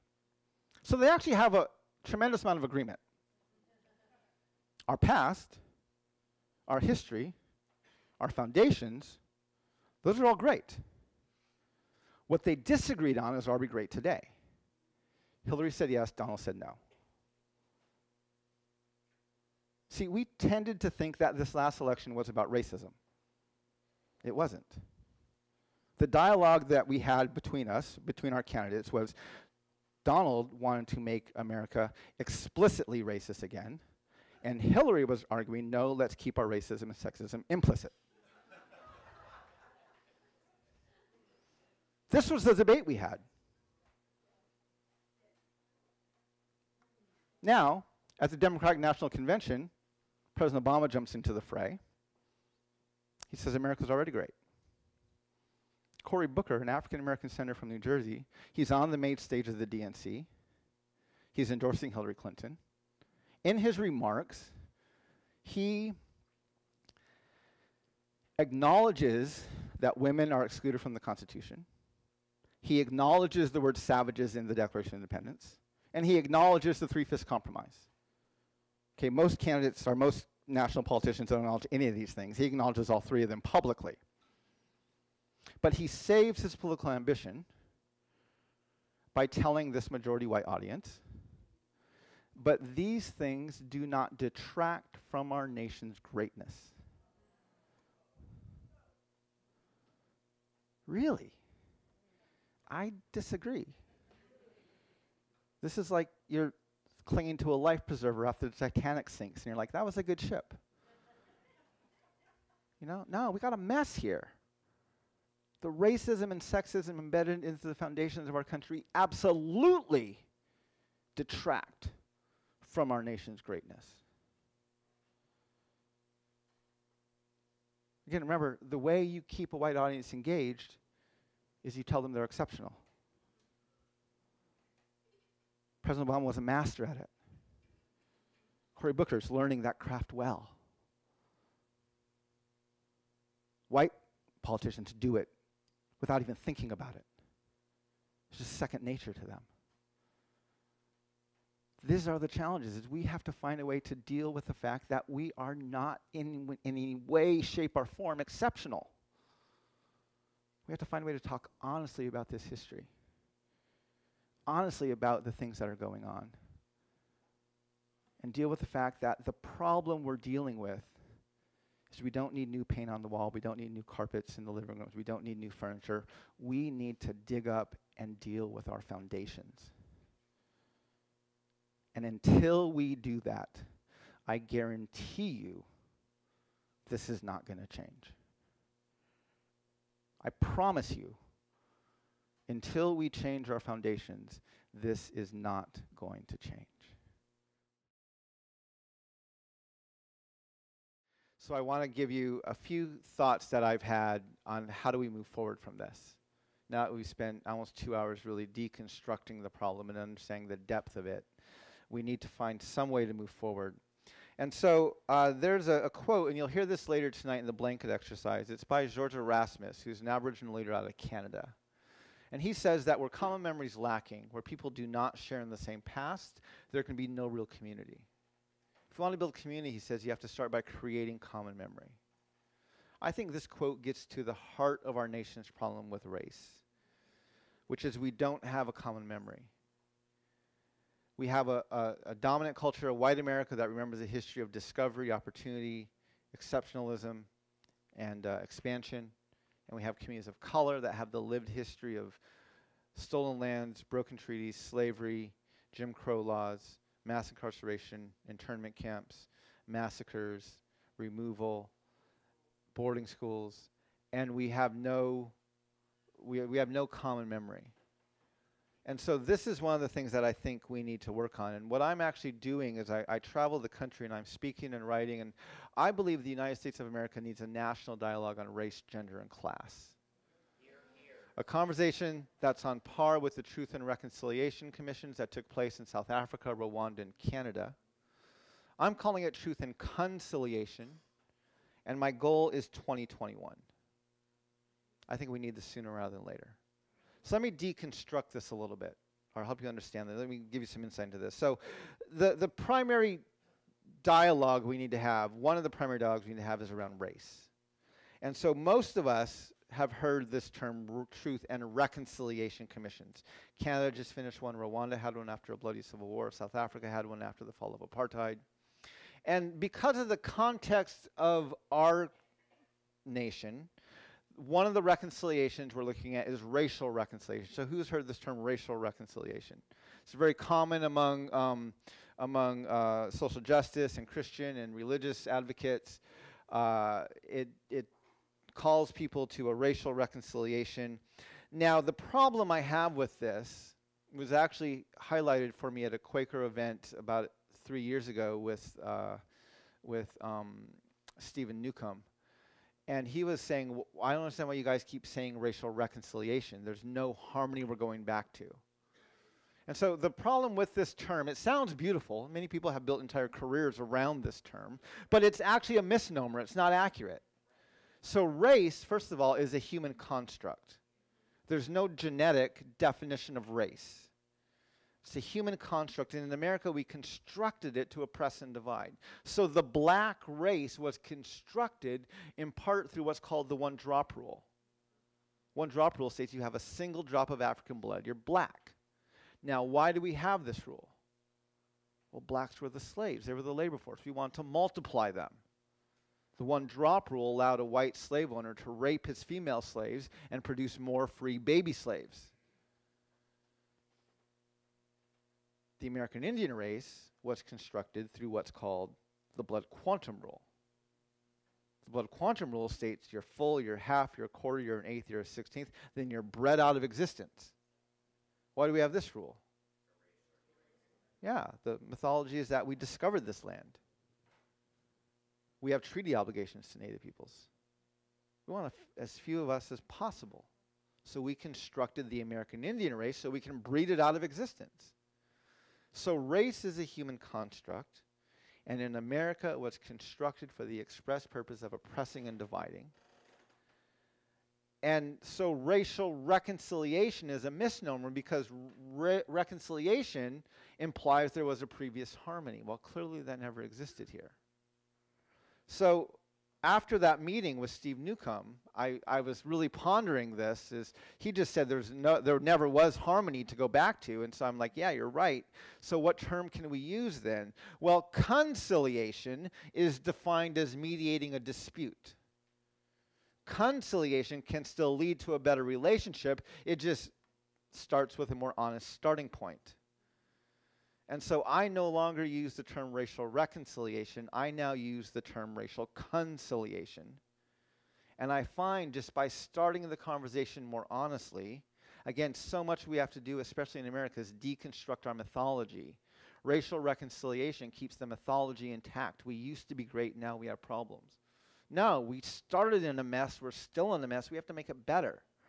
And so I find using the term racial conciliation leads to much healthier dialogue. And so we don't need a National Truth and Reconciliation Commission. We need a National Truth and Conciliation Commission. Now, to have this conversation, and I could do a whole weekend on this, so I'm going to go through this in just a few minutes, hopefully. But to, to have this conversation, we really have to prep, I would say, three or four audiences. So most racial reconciliation commissions happen out of crisis. Apartheid fell, a bloody civil war in Rwanda, a very expensive lawsuit in Canada. All these crises bring these groups together. Well, our country doesn't handle crisis well, right? We drop nuclear bombs in crisis. We build internment camps in crisis. We go to war against entire religions in crisis. We do not handle crisis well. So I don't want to use crisis to bring this about. So I'm trying to bring it about through other methods, which we can talk more about that later. But to do it through other methods, we need to really prep three or four different audiences. So the first audience I'm trying to prep is the religious audience, the church audience, the Christian audience, the Christendom audience. My, my message to the church, to the religious audience, is that we need to lament. So I'm writing a book on the doctrine of discovery. My, my co-author is Soong-Chan Rah. He's a, a, Korean professor at North Park Seminary in um, Chicago. And uh, he wrote a book about three years ago called A Prophetic Lament. And in his book, he looks at the, the spiritual practice or discipline of lament. And uh, he defines lament. He says one of the characteristics is lament is like being at a funeral dirge. You have a dead body in the casket, and it's not going to come back to life. You're there for one reason, and one reason only, which is to mourn, to weep, to cry. And so, as Americans, and especially as Christians, uh, for those who are Christians, and I come out of a Christian faith, so I'll include myself in that, we have 500 years of dead bodies in caskets. And they're not going to come back to life. As Americans, we have 500 years of dead bodies in caskets, and they're not going to come back to life. So the only thing we can do is we have to lament that. Now, one of the challenges with lament is, is lament um, when you look at the scriptures, when the people of God lament, he always shows up. He doesn't come quickly, but he always shows up. But the problem in America is it's tough to lament when you believe in your own exceptionalism. And so we don't stay in lament very long. Maybe a song, maybe really brave churches will do a service of lament. But no one stays in lament long. And when God's people, when the, in the scriptures, when the people of God lament, he always shows up, but he doesn't come quickly. So the church never laments long enough for God to show up. So there's this whole side of God's character the church has never interacted with. So I'm calling the church into what I call a season of lament. Not a service, not a song, not a period, a season. Because who changes the seasons? Well, Creator changes the seasons. So I want the church to stay in a season of lament long enough for us to begin to, to wrestle through some of this. Um, the, the next audience I want to deal with are communities of color. I want to spend a little more time here because this is where a lot of insight will come for both the people of color in the room as well as for the, the majority culture, white people in the room. So, one of the things that we need to talk about is trauma. Okay, so who here has heard of PTSD? Post traumatic stress. It's an individual diagnosis for the victim of a horrifying event.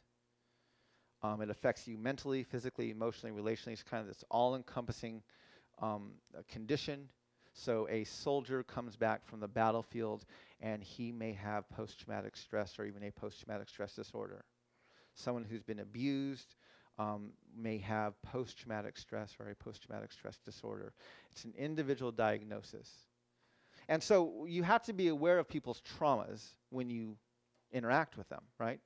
If you're dealing with someone who has PTSD from the battlefield, you have to be aware of this. If you're dealing with someone who's been an abuse victim or something else, you have to be aware of the trauma, aware of, of what, what is going on for them so you can have the conversation, talk about them without getting derailed. Now, there's another trauma that's being researched, and this is called historical trauma. Who's heard of this trauma before? So we, there's actually a lot of work being done on historical trauma. It was developed by psych psychologists to understand the dissatisfaction in broad communities, specifically in the Native community. So it's not an individual diagnosis. You don't say that person's suffering from historical trauma. This community is experiencing historical trauma. And so it's how psychologists understand the dissatisfaction in a broad community. Now, it's been demonstrated, it's been scientifically proven that this trauma is passed down genetically from one generation to the next. It doesn't end with the trauma with the group that was traumatized. It gets passed down from one generation to the next. And so I refer to historical trauma as a multi-generational communal manifestation of PTSD. Does that make sense? Okay? So if you want to deal with this history with a community of color. If you come to my native reservation, if you come to Navajo Reservation, you want to set up a meeting and talk about the doctrine of discovery, and you're not aware of both the PTSD of our victims from our our boarding school survivors, as well as the historical trauma of our community from the removal and the long walk and everything else, and you come in and start teaching this stuff, and you're going to get reactions and get responses that you're not going to be in any way prepared for, and you're going to derail your conversation and your work. So you have to be aware of these traumas to be able to move the conversation forward. Same thing if you go into an urban environment, African American community, you have to be aware of these things because it will derail your work. Now, if I had to ask you, what has been the single most cause of derailment of race dialogue in our nation? Slavery. Well, the cause of the derailment. What, what, what breaks up our discussion about it? Guilt. Guilt. By who? White people. Okay, so white people derail the conversation on race frequently, correct? So we have to figure out a way to understand what's going on for white people. Now, in most racial dialogues, white people are put into one of two categories. They're either called racist or they're called fragile. I don't find either of those helpful if white Americans are racist, if you're racist just because of the pigmentation of your skin, then there's no room for them in the conversation, and I don't find that helpful. If I'm speaking and someone jumps up and is confronting me because of what I'm saying, and they're they're responding energetically towards me. If I believe they're racist, I'm going to feel attacked and I'm going to have to defend or attack back. It's not going to be helpful. Now, if white Americans are fragile, that means I have to walk around them on eggshells. I have to always soothe it over. I have to make it palatable for them. That's not helpful either. So, there's a third trauma that most of you have never heard of, probably, and it's called PITS perpetration induced traumatic stress. Now, PITS, Rachel MacNair, who wrote the book on this in 2002, she identifies PITS as being like PTSD in every way, shape, and form, except instead of afflicting people who were victims of a horrifying event, PITS afflicts the perpetrators. So she looked at a very comprehensive study on Vietnam veterans. She looked very closely at this quote by Socrates, who said, The doer of injustice is more miserable than the sufferer. And she came up with this trauma diagnosis that she calls PITS, perpetration induced traumatic stress. So I hypothesize that if PTSD has a multi generational communal manifestation that afflicts people of color, because you see historical trauma in Native American communities, African American communities, um, uh, Japanese communities, uh, Jewish communities, this isn't just defined, refined only to one Native community. This is, you see it in all, many communities that are oppressed. So if PTSD has a multi generational communal manifestation called historical trauma, it would make sense to me that PITS would also have a multi generational communal manifestation, which I identify as the trauma that's afflicting white Americans. Because you cannot build a nation on 500 years of dehumanizing injustice without traumatizing yourself. And so I just like if I'm going to go into a native community, I educate myself, I make myself aware of the historical trauma of this community so that my work doesn't get derailed. If I go into an African American community and I want to talk about these things, I understand the historical trauma of those communities so my, my work doesn't get derailed. The same way, when I interact with white Americans, I understand I'm interacting with another group of traumatized people. And I educate myself on this so I don't allow my work to get derailed. So, one of the first symptoms of trauma is shock and denial. Do I need to say anything more about that? Okay? Shock and denial. So, if you understand white Americans as another group of traumatized people, and I'm talking to our people of color in the room now, it's easy to see their symptoms. So, this buried apology, this wasn't racism, this was trauma. Our Congress was so ashamed by what they did to become who they are, they can't even acknowledge it publicly. We have Texas and Oklahoma passing laws you can only teach patriotic history. This isn't racism, this is trauma. They're so overwhelmed by what they did to become who they are, they can't even teach it anymore. I call American exceptionalism as the coping mechanism for a nation in deep denial of its genocidal past and its current racist reality. Now, when you deal with trauma patients, trauma patients have what are called triggers. A trigger, it's a sight, a sound, a smell, something that takes you out of reality back into the chaos of the moment of when the trauma occurs. So if we understand white Americans as another group of traumatized people, it's easy to see their triggers. So eight years of a black president was a trigger. White America did not know what to do of the optic of a black man governing from an office that was built for white people that freaked white America out. Without eight years of President Obama, we never get Donald Trump. It doesn't happen. The election of Donald Trump was a triggered reaction by white America to eight years of a black president. Any national dialogue on immigration or gun control is a trigger, no pun intended. White America cannot have this conversation without screaming at each other. Remember the, the, the big rally we had in DC just a few months ago, a month and a half ago, of the high school students from Parkland, correct?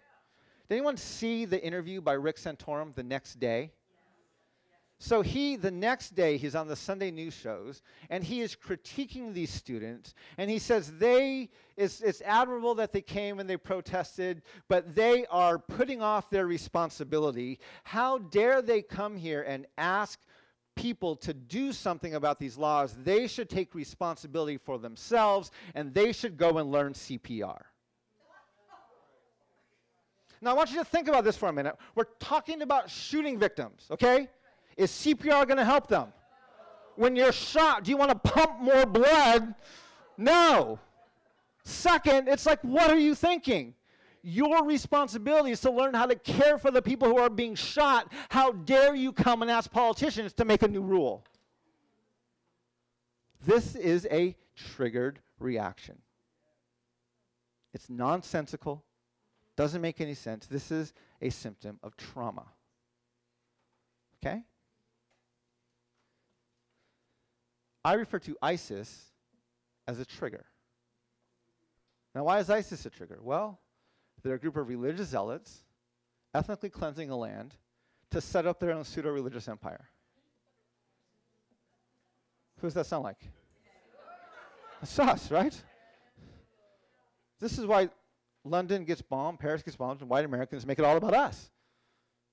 That reflection is so shockingly, frighteningly familiar, they don't know what to do with it.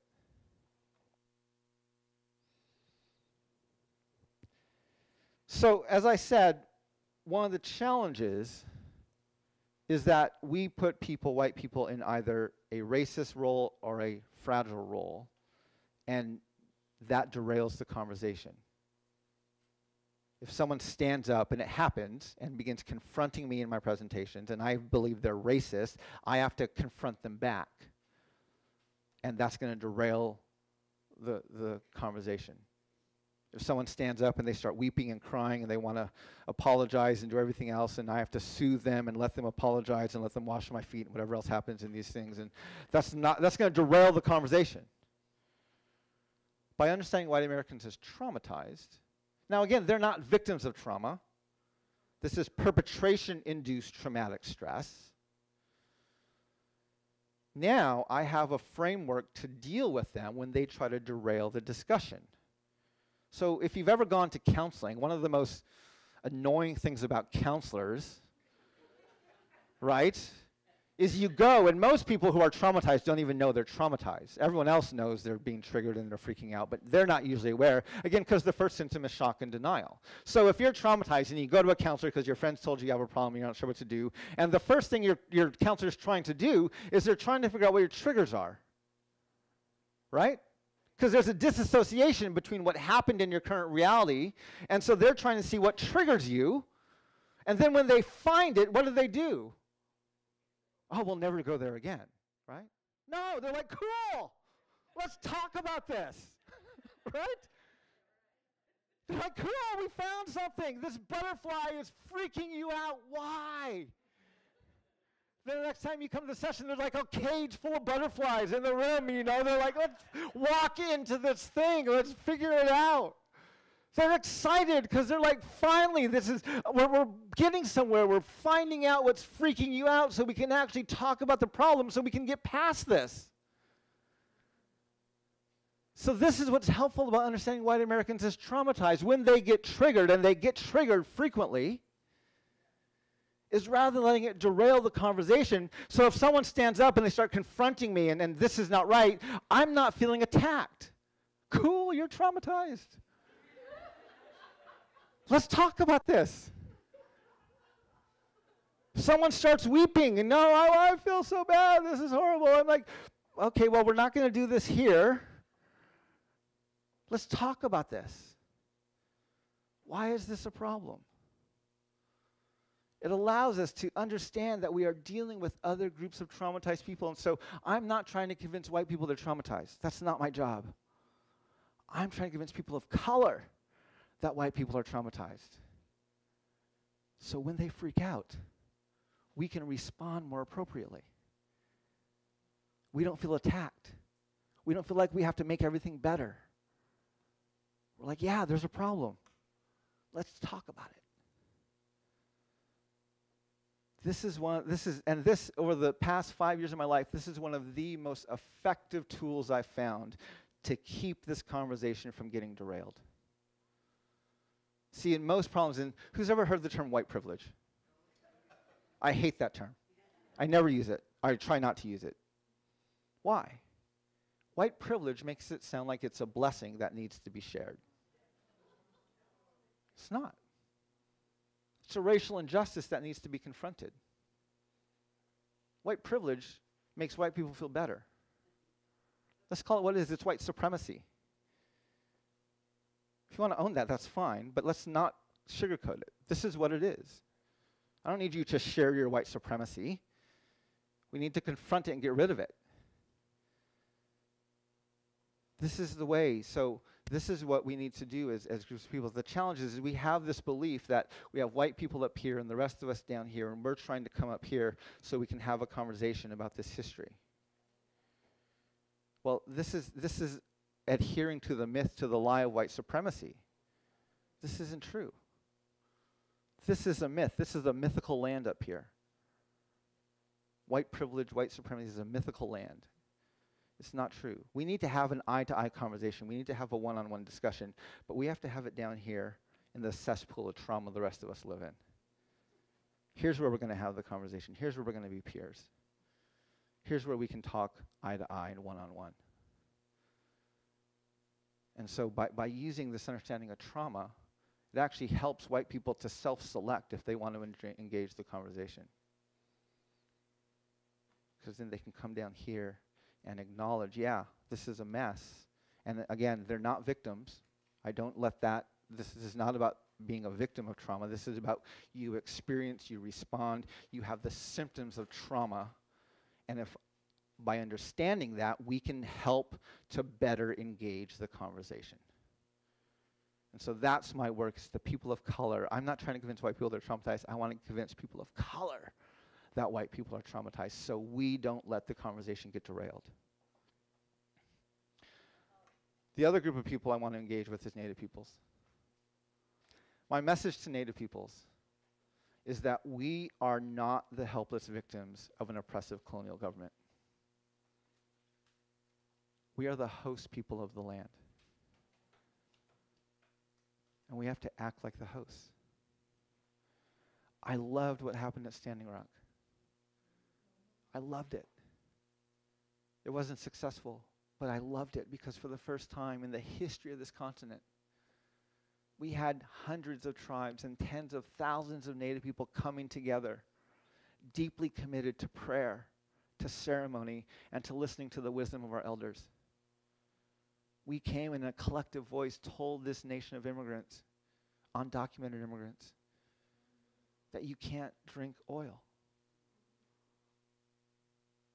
If you want to live here, you have to learn to think and learn from seven generations behind you and plan for seven generations ahead of you. I love the way our Native communities came together at Standing Rock in a beautiful way as the host people of this land. One of the most effective tools I've been able to use to invite people into this conversation. I lived for over a decade on the Navajo reservation with my family. For three years, we lived in a very remote section of our reservation. We lived in a one room hogan, a third the size of this room, dirt floor, log walls. Our community had no running water, no electricity. Probably a fourth to a fifth of our native, our Navajo people live that way today. We were there about 15 years ago. And uh, when we moved there, we prepared to live off the grid. We prepared to haul our water, live by candlelight. But the thing we were unprepared for is that it felt like we dropped off the face of the earth. We learned very quickly that the primary, primarily the only non-natives who come to Indian reservations are those who come to take our picture, are those who come to give us charity. Almost nobody comes for the sake of just having a conversation and getting to know us. And as we lived there, the longer we lived there, I began to feel this very oppressive and insecure feelings. As I learned more of the history, I began to feel more and more insecure as a Native person. And I would try to talk to my, nat- my non Native friends about it, but they, we could only talk on the phone or email because they never came to the reservation. And every time we'd have this conversation, I would find myself getting angrier and angrier and angrier until I'd have to hang up the phone or start screaming. So I learned how to disconnect and try to um, uh, disconnect from the conversation emotionally so I could stay engaged longer. And when I started doing that, I could stay engaged longer, but then my friends would start getting more and more defensive. We didn't steal your land. We didn't do this. We're not going to do this. Soon they would hang up the phone. I was trying to find a way to how do we have this conversation? And I was writing a letter one day to my friends, like the 10th time, trying to get them to understand how it felt to be Native American and live in the United States of America. And I said, you know, our Native communities, it feels like we're this old grandmother who has a very large and a very beautiful house. And years ago, some people came into our house and they locked us upstairs in the bedroom. Today, our house is full of people. They're sitting on our furniture, they're eating our food, they're having a party inside our house. They've since come upstairs and they've unlocked the door to the bedroom, but it's much later. We're tired, we're old, we're weak, and we're sick, so we can't or we don't come out. But the thing that hurts us the most, the thing that causes us the most pain, is that virtually nobody from this party ever comes upstairs, seeks out the grandmother in the bedroom, sits down next to her on the bed, takes her hand, and simply says, Thank you. Thank you for letting us be in your house. I started sharing that. And I would have some of my native elders and community members come up to me and say, I've lived on this reservation all my life. I've never been able to articulate how it feels, and you hit the nail on the head. I'd have non natives coming up and saying, How do I say thank you? How does my family, how does my community, how does my city, my nation express gratitude to the indigenous hosts of this land? Now we're having a very, very different conversation. Because now we're talking about what I would call this reversal of roles. And this is the problem that we have as a nation, which is we have a nation of 350 undocumented immigrants. People who've come here they've never asked for, nor have they ever been given permission to be here. Not by other white people, by native peoples. And they live here acting like they own the place. Meanwhile, we have about four to five million natives marginalized off on the reservation, acting like unwanted guests in someone else's home. We have to reverse these roles. I was walking one day, this was about 15 years ago. I was out herding sheep with one of the men in our community. He's a boarding school survivor. He speaks better Navajo than English. And we were walking through the fields one day, and President Bush was in office, and he was starting the dialogue on immigration reform. And I said to my friend, I said, You know, most of the nation's talking about this now. I said, How, what are your thoughts? I'm curious. What do you think we should do about immigration reform? And he said, Well, there's already so many of them here maybe we shouldn't worry about borders anymore. Now, if you're anywhere else in the country, you're assuming he's talking about the 14 million undocumented immigrants who came over the southern border. Because we're on a reservation, because he's a boarding school survivor, because we're both native, you have to at least pause and ask and say, did he mean the 14 million or the 300 million? And I love the ambiguity so much, I didn't even ask him to clarify. I'm like, this is perfect. And I started telling people without natives at the table, our country is incapable of comprehensively and justly reforming immigration law.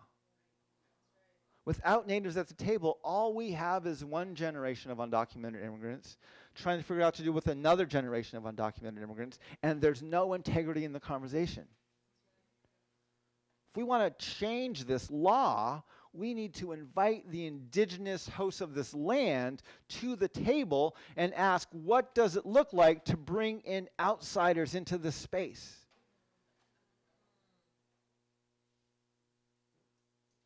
If I were to go around the room, I don't know specifically about this room, but most rooms around the country and ask people to identify who are you, most Americans would give us their profession.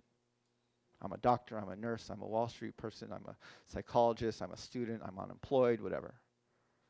If you go into most native communities and ask people, who are you? We're going to do what happened last night, what I did today. These are my relatives.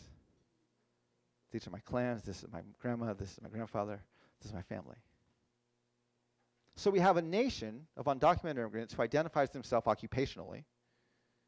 And what's their biggest fear about immigration? Taking our jobs. And we have a group of indigenous peoples who identify themselves relationally.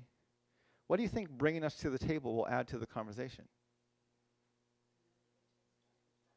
Rather than just getting a green card, how do we how do we relationally bring people into this community? So this is, these are the things that we need to start thinking about differently for this beginning to take place. And I'm, you know, I like I said, I can go on and on and on, but I'm convinced that we need to find a way to create this common memory. We don't have it right now, and it's killing us. And I'm, I'm absolutely convinced we need this national dialogue on race, gender, and class, and we need it sooner rather than later. We're going to destroy ourselves if we don't have this quickly. My goal is 2021. My website is wirelesshogan.com. My Facebook is Mark Charles Wireless Hogan. All my other social media is Wireless Hogan. Um, I welcome you to follow me, to find me online, and uh, I'm more than happy to, to engage and answer questions and have conversation. Um, there's an article up here. This is one of the articles that I, I have on my website. You can't read the top line, unfortunately, but the name of this article is What if we struck racism and sexism from the Constitution? What if we actually abolished slavery and added two simple words articulating a value for life? And I have this article is a copy of the Constitution. I didn't amend it, I edited it. There are 51 gender specific male pronouns. I changed them to gender neutral or proper nouns. I use the strike through font to take out the clause in the 13th Amendment. We don't need to amend that. We need to just edit it out. We never should have said this. And so I, have edited the Constitution to remove the racism, the sexism, and I added two words to the preamble. We, the people of the United States, in order to form a more perfect union, value life, ensure domestic tranquility if you read the Constitution, and most people never read it, there is nothing in there that articulates a value for life. And I think this is something we need to add to that. We need to have in there a stated collective value for life.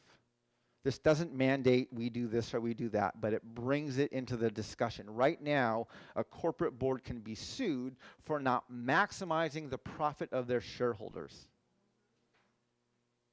and this is killing the environment. We need a corporate board that's able to be sued because they are not holding a value for life. If we want to live here beyond our children, we need to make these kind of changes. Thank you very much. It's been my honor to be with you.